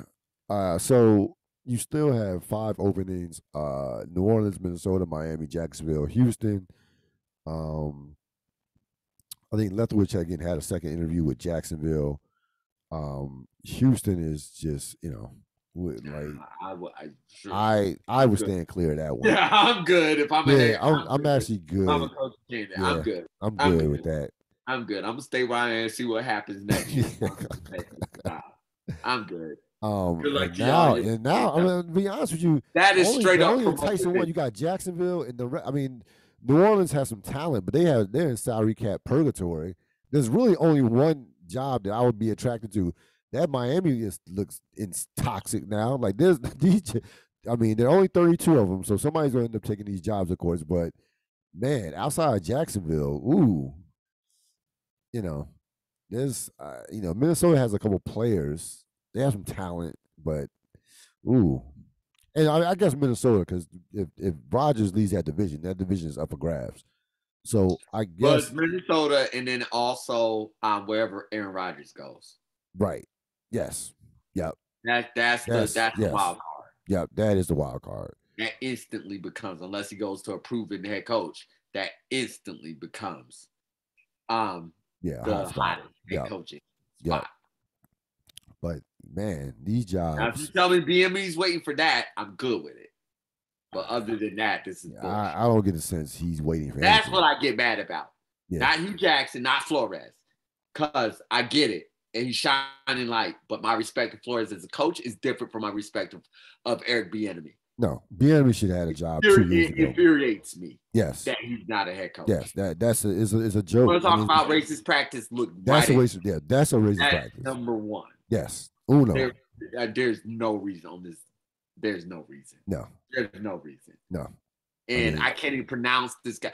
Ever, I'm not even pronouncing that. Yeah, uh, yeah. I don't. Yeah, disrespect yeah. him, but damn that. I mean, fucking. like, yeah. I mean, Dan. Dan Campbell. I mean, come on, man. Dan Campbell still got a job. Nah, we're not doing that. We're not- you're trying to make me upset. Yeah, I'll go to bed. Yeah, no, we're not Campbell. doing that. Nope, you're not doing that. Yep. Uh, Bye bye Brady. Good riddance. No. so that's fine. Say that. I no, mean, I, yes. Look, he will get all of the accolades. He'll get yes. them all. So yes. damn that. Why I gotta say something nice about no, him? He won my life for 22 years. Yeah, he did. He did. Like, um, nice. So I guess uh, you know, guess to no one's surprise, this happened. Um, I think that the thing I think the thing that stands out to me is where he started to where he ended. Um, I don't think I've ever seen someone in team sports who was not a physical specimen get to his sports, reach, but reach his the higher sports. I can't think of another example. no, no. Um, because like this guy, have to be the most dominant athlete. Yes, like you know, LeBron's number one pick. All most of those guys are first round picks. Even eight Alex Rodriguez, number, first round number one picks. Phenoms. Ken Griffey Jr. was a high school phenom, and most of these guys have, are were just like you came out the crib with with, with like born for greatness. In some cases, not all, but in some cases, Michael Jordan even was a high school All American at North went to North Carolina, and so on and so on. Uh, Joe Montana went to Notre Dame, even though he was a later round pick. Still Notre Dame, and, and Brady went to Michigan, but and, and, Montana was kind of they kind of similar because they both were late round. I think Montana was fourth round. Yeah, I think Montana was a fourth round.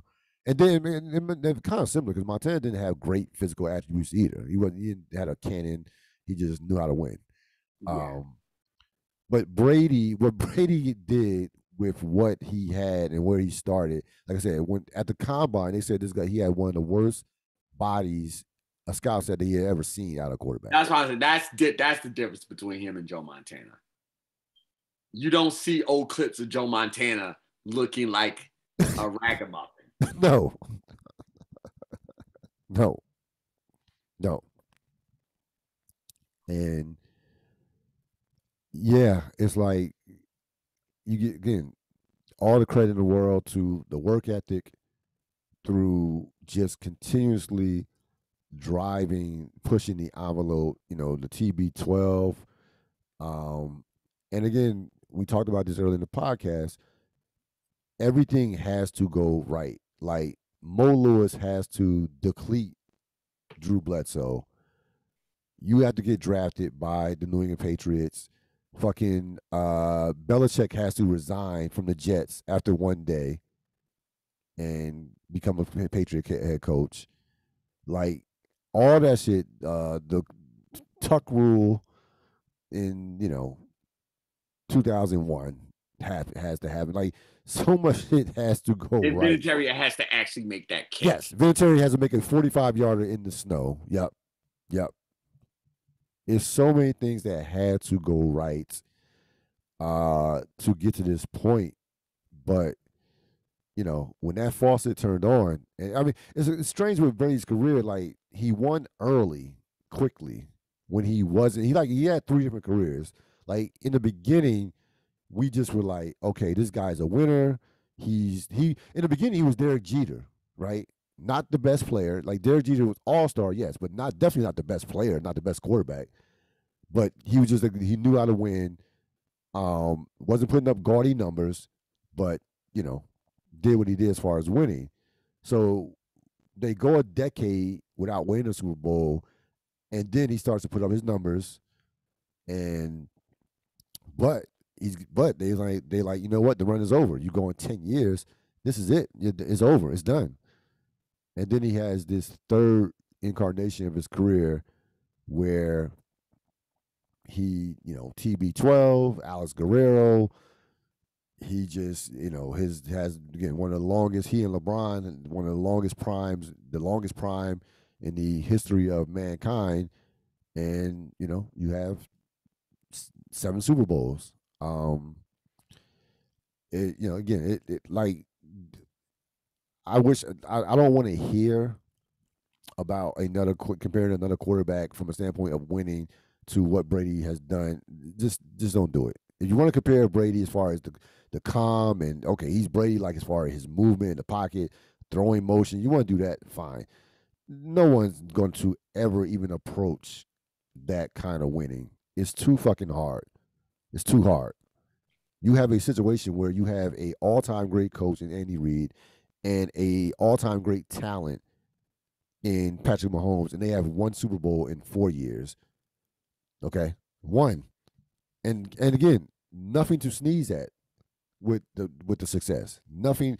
You as a Kansas City fan, I would take a couple championship losses if I were being a fan. If I were being a Washington fan, I certainly I would take them losses with the, with my franchise. Please give me. Can we get in the playoffs? Can we win a playoff game?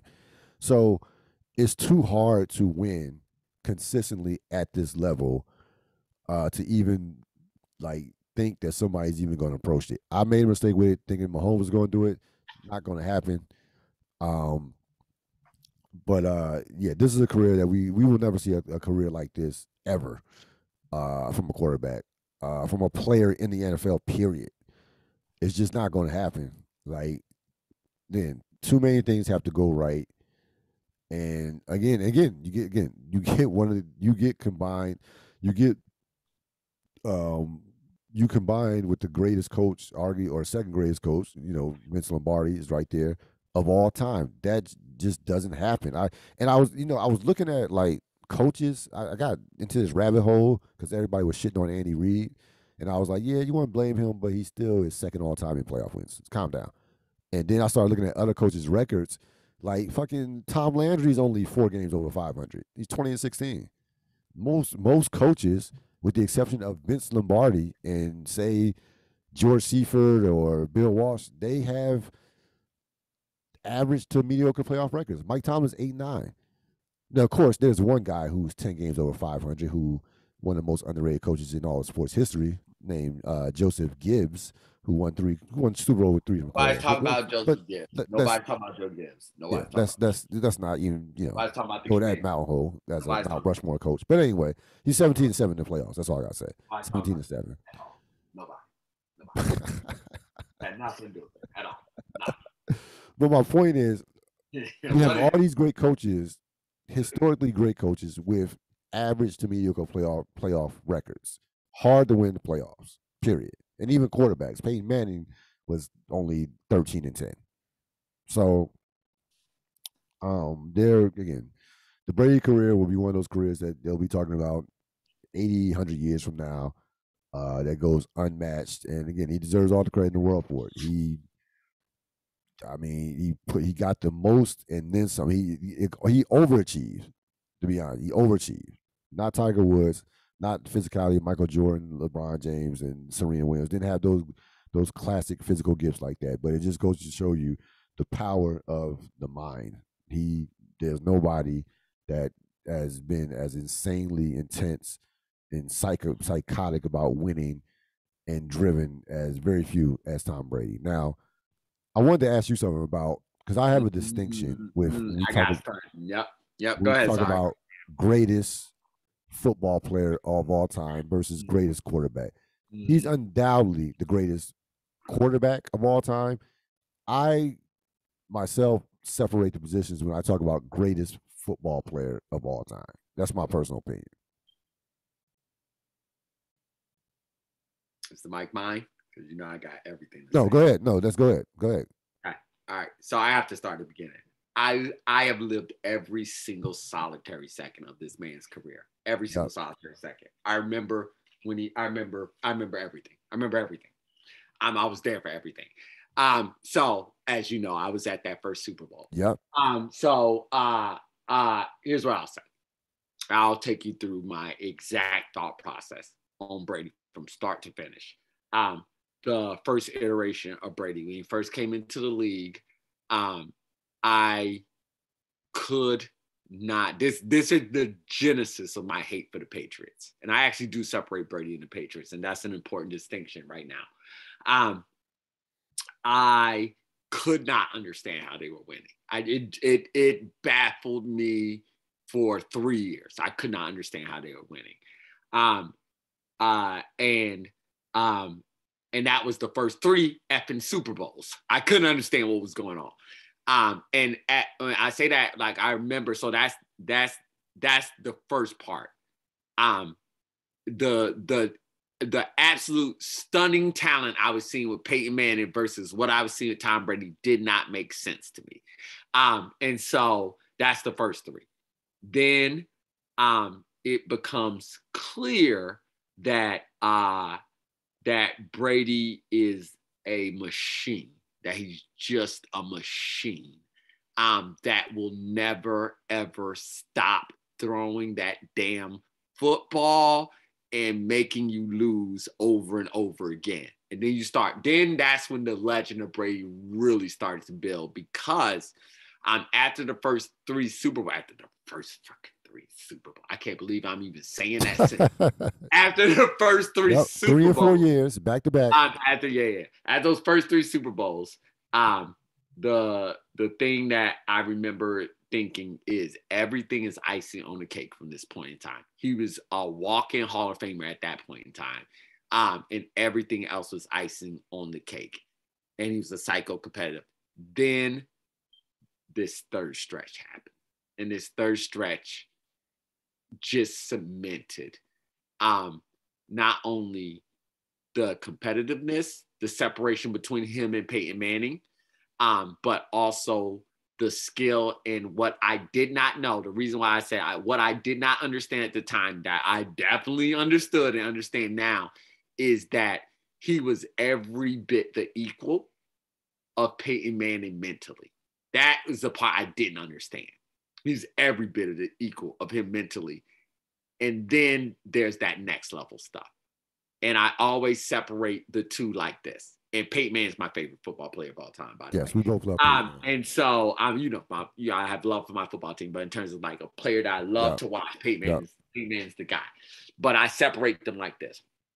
Um, there's this show on the NFL Network that comes on after every Super Bowl win, where they recap. They have football players recap the championship run, whatever it's called. Um, and Peyton Manning's in one of the ones. I think it was the yeah, it was the first Colts one um, they they were doing this thing and they and they interviewed the players and he's one of the players walking us through the season and they say to and they ask him the question or he even I think he even gives this up voluntarily. He's done this in several interviews since.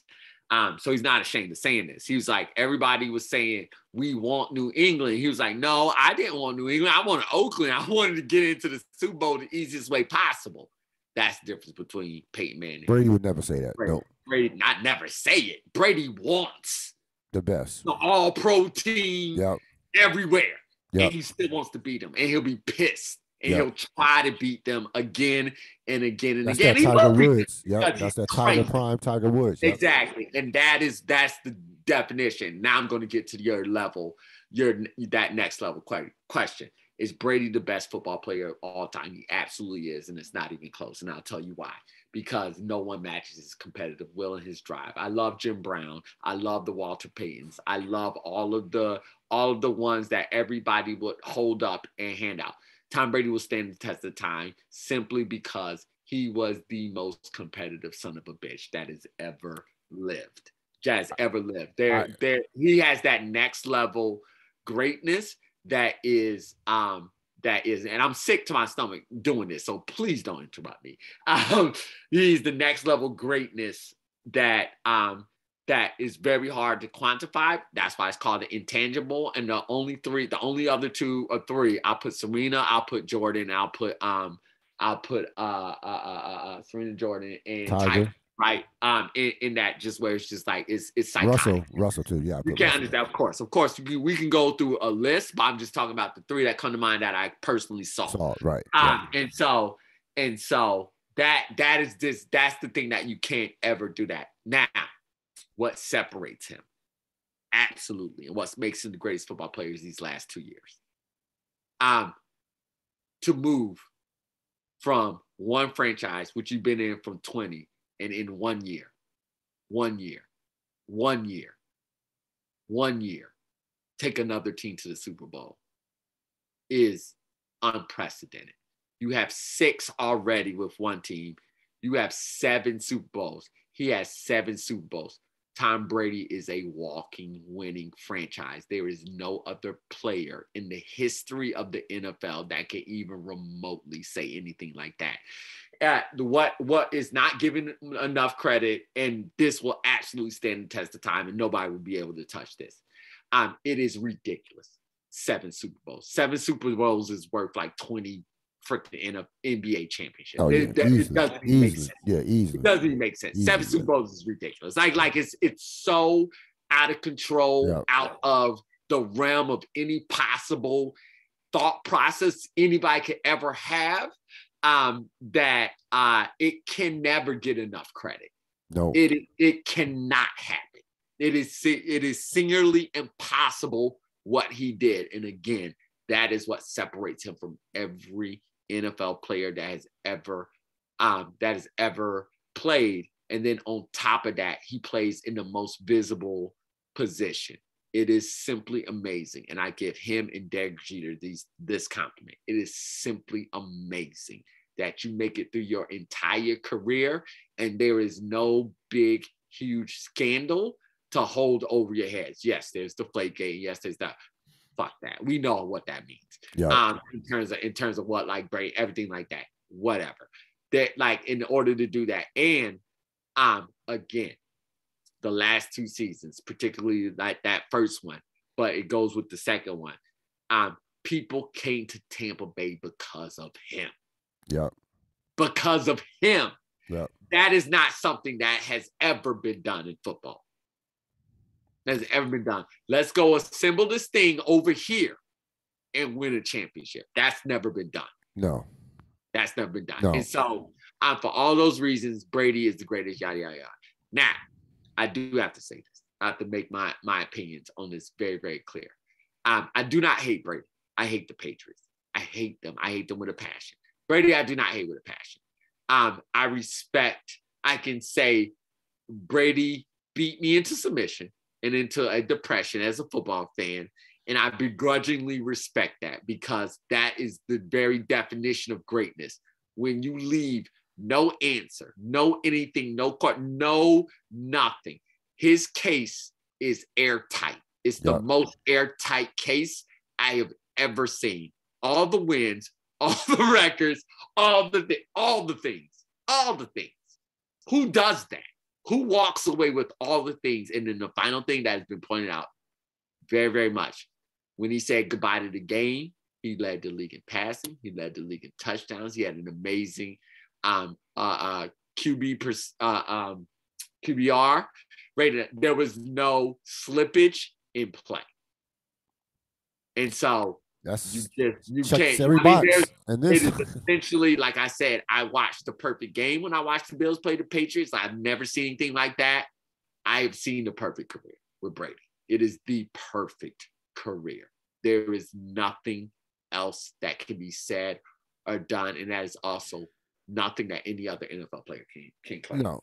Even even the losses in the Super Bowl, you're talking about losing when you almost go You had to kill this man. You had to kill him. You had to kill him. Yeah. You had to kill him. You know, Every For- single loss in those Super Bowls was nail biter tight and crazy insane thing. You know, fumble while he could drive and you know all the things, all the things. Oh, you had to kill him dead. You had to kill him dead. How dare you, Seahawks, throw that ball? Still Yeah. mad. Okay. I have no problem with the argument as far as greatest football player of all time. I still, to me, pound for pound, who I saw with my own eyes, growing, especially growing up in the New Jersey area, saw that Lawrence Taylor was the best, the greatest that I has ever seen, and I. Lawrence Taylor had too many character deficiencies. Most talented, yes. Great talent player, he had too many character deficiencies. That's part of it, real. We can't we can't compartmentalize things.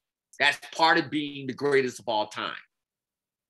You're out drink, you're proud of being drunk during a game. That's a great story. It's an amazing story. That ain't this. yeah, no, yeah, that's fair. No, that's fair. No, you're right. You're right. Because you, know what? Because that that 12 year career could have been maybe 15, Oh, 16 year on, Yeah. stop. If Yeah. you took it seriously, oh, stop. Oh yeah, yeah. You're right. No, I had. You know what? You're absolutely right. It should have been a 15, 16 career. Yeah, you're right. You have Yeah. to take it all that we talk. We we You gotta take everything. You gotta come. Yeah, we're splitting the airs. You gotta compensate. Yeah, so I, I mean, from that, from that standpoint, I would have to even put somebody like Jerry Rice or Jim over. Yep. Yeah. Yep. Yeah. Yep. Jerry Rice is the best argument. Yeah. He is the greatest wide receiver of all time, and it's not even close. No. No, that's not. Yeah, yeah. It's not even close. And the winning and the records, in terms of the records he has in his close. possession, yeah, yeah, He's he's the he's the best argument. yeah, He is. Yeah. yeah. Rice, yeah, Rice, and then you know, got somebody But like Brady's Rice. overall win it takes. But. Brady, yeah, Brady's totality and the longevity and like, like you said, no, there was never no slippage. Was like there's no, there's zero slippage. Like he went out on top in essence. He went out, you know. Um, yeah, that last iteration and those three, those last, those last, uh, you know, four super, yeah, last four because. I mean, Everybody ended his career on the Raiders, breaking his catch streak, not having to catch in in the game. Tom Brady's two in MVP voting at the least. yeah, yeah, You just can't compare these things. no, He is. He's just that great. You No. just got to give it up. He is. You just No. can't. There's no comparison. There's no comparison to him. There is. I mean, nah. I mean, when you look at athletes in general, it's like, yeah. I mean, they all, you have to go to other sports. yeah. You got to, you transcend it. You're the greatest. You're tra- yeah, you have yeah. like you have to you have to go to other sports to find. I mean, the only the, the only comparison from a team sport wise would be Russell with the MVPs and then going Yeah. out on top and things of that nature. That's it.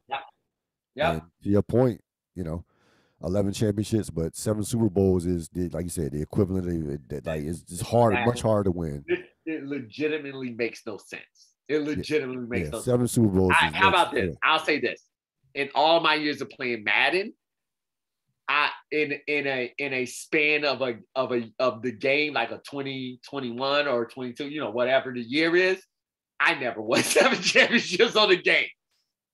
I never won seven championships on the game. That's insane. I would not, I don't I I didn't I wouldn't have had the focus to Right. do that seven Yep. times.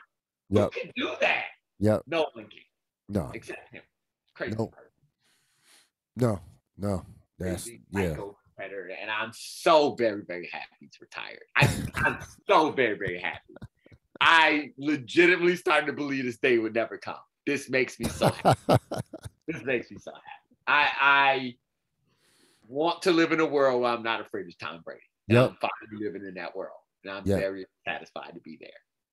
Very satisfied. All right, real or not, Patrick Mahomes wins only one Super Bowl. uh, I listened to a bunch of Kansas City stuff.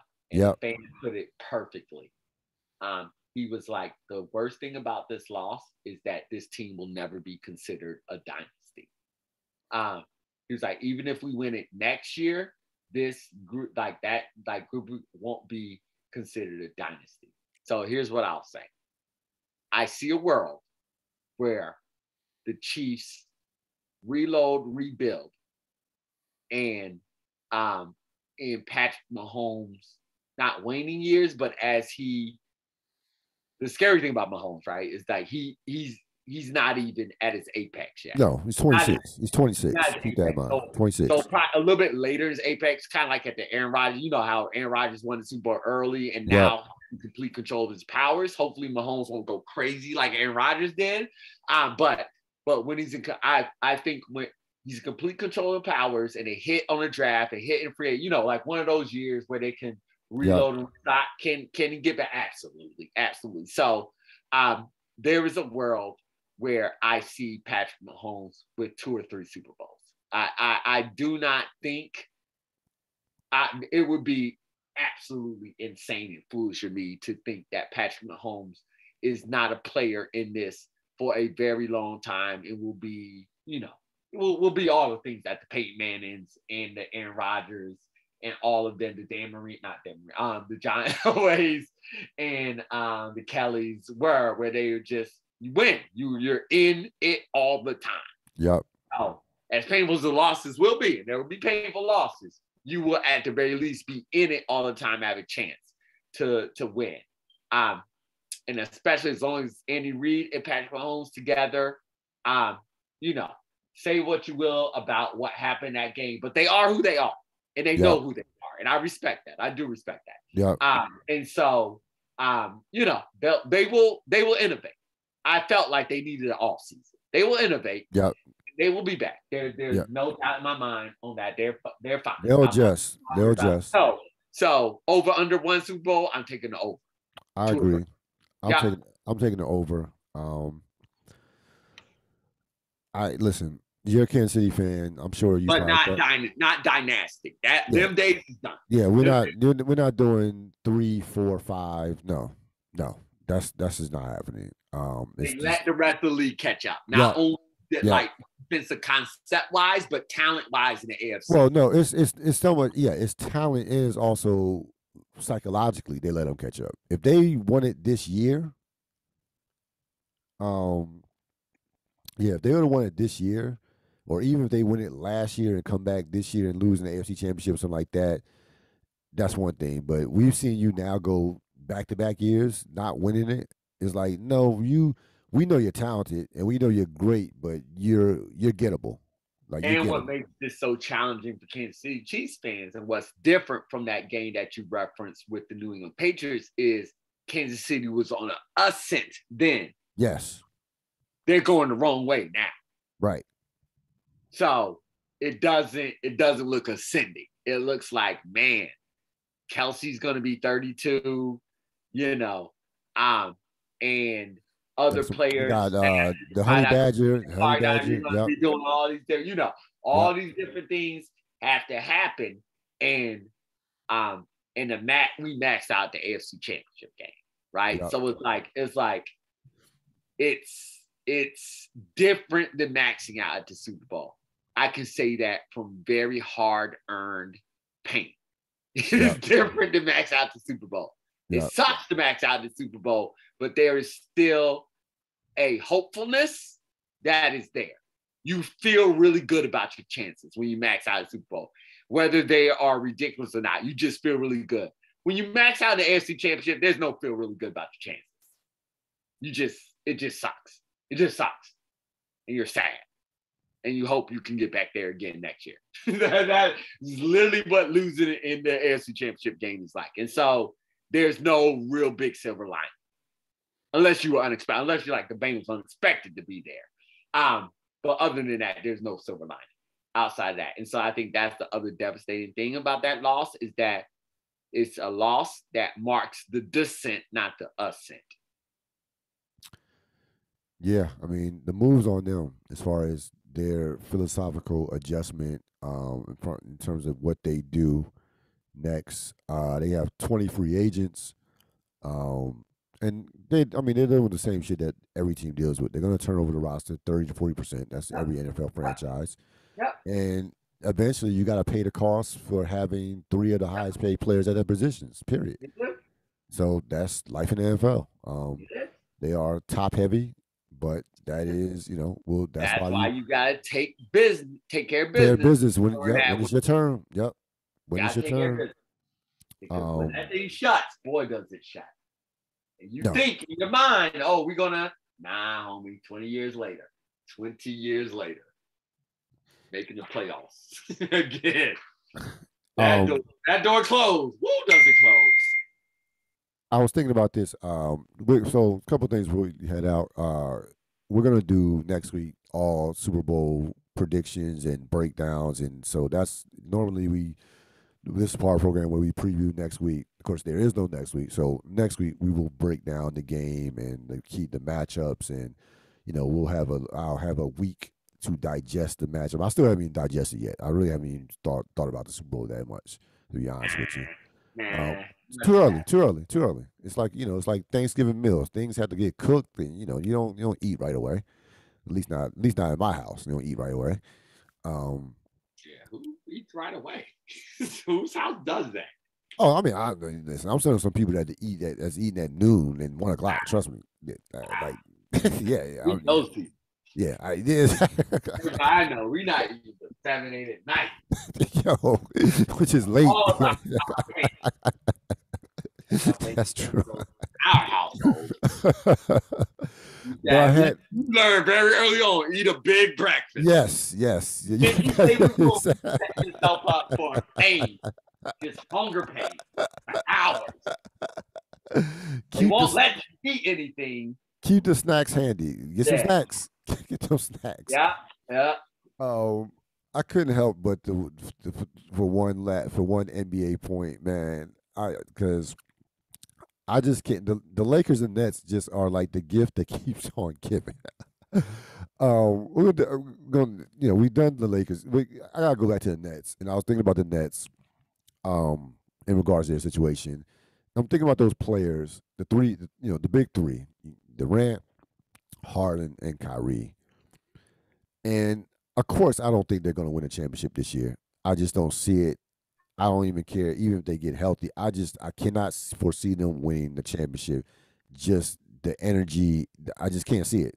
Like now, I might be, I could be, you know, a couple months from now, I could be getting laughed at from a standpoint. Oh, you really didn't think the Nets could win it? It's not even about the talent. It's just like I, have seen this movie before. I just don't. I, I absolutely don't see it.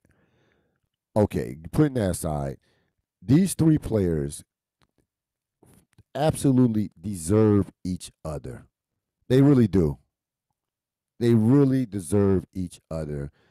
Um, the latest thing, and I don't know if you heard about this, James Harden complaining to the NBA about the officiating and actually going to a point to where he's t- sending like footage saying, "Hey, uh, you need to look at this with the with the referees and so on and so on." I'm like, yeah, really? Not doing the shoe on the other foot. He's not. Yeah, exactly, exactly. The yeah, there ain't no fun when the rabbits got the gun. The officials like, okay. Uh, poor James. Poor James. Yeah, poor James. Poor James. You only you only get into the line like eight times a game. Poor James. Poor you. I know. I know. You don't get every call anymore. And I I'm know. like, I'm just looking. I'm just it. Like I'm, I'm like y'all three deserve each other. Y'all deserve this. Y'all, you. I mean, you deserve each other. Like it's in a real, real way. Um, yeah, it, it's it's. I mean, it's been it's been like. Uh, like we both like I mean I I can speak for myself. We like we are fascinated with train wrecks in sports. Like the, the like and you you were I know for sure you were you were uh rooting for the train wreck with my 04 Lakers uh when that happened. You could you you enjoyed oh, the hell out of it. Oh, it's one of my favorite finals ever of any sport ever. I love it. I love it. I love it. I love that final. Yes. You know, and, you know, how I felt about that. And this, you know, even though you know they on well, I mean, I guess the talent is about the same considering where they are, or maybe we a little bit better because Kobe and Shaq in their primes. But I mean, similar situations where you have all this talent and all these pieces and all these expectations, but just a whole bunch of chaos and a whole bunch of like a whole bunch of reasons why this team is not going to win a championship and why probably more than likely somebody like Milwaukee or Phoenix will. Um, yeah, yeah, I, I, I just can't. Again, I wish Durant, you know, is healthy. You know, gets back healthy. Enjoy watching him play basketball. He's all time great, no question about it. But I'm saying I can't root for Kyrie, man. I can't root for Kyrie and Harden. I can't. I, it like it. I can't. I can't do it. it. It's just like you can't. Like how can you? Even as a basketball fan, even if you were, even as a casual observer, and you you're a perfect you're you're you're you're a perfect ta- uh, case, uh, test case because you really don't have a, a, specific, specific team, but don't you find that team impossible to root for?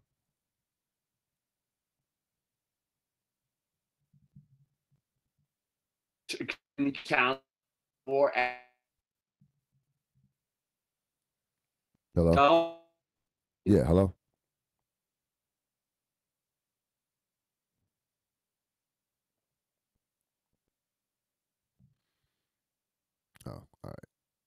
Yep, I think we lost. See, that's how bad the Nets. That's how bad the chemistry is. We we actually lost uh, Sapp. Um, we're just gonna wrap it up there. Yeah, we're gonna wrap it up there with the Real Deal podcast. No, I was just thinking, just thinking about the Nets. Um, that um, they they're impossible to root for, and again, there's no way that team is. They're not winning a championship. It's too much bad karma, too much bad uh, energy and again, if you want, like I said, you want to watch a team, you want to watch an NBA champion. If they stay healthy, watch the Phoenix Suns. Watch what the Phoenix Suns are doing. Uh, watch you know, watch the the continuity, watch the chemistry, watch they're on a mission. That is a championship caliber team. That is a championship caliber uh, foundation that they have. I know they had the stuff with Sarver that's kind of went away in the last couple months. That team is loaded and locked in on on their goal. So, um, but again, we're gonna get back to uh, the Real Deal podcast. Come next week with the uh, with the NFL show. We'll preview. We'll do a complete breakdown of the Super Bowl game. Enjoy the rest of the evening. The podcast will be up later on tonight, early this morning. So long.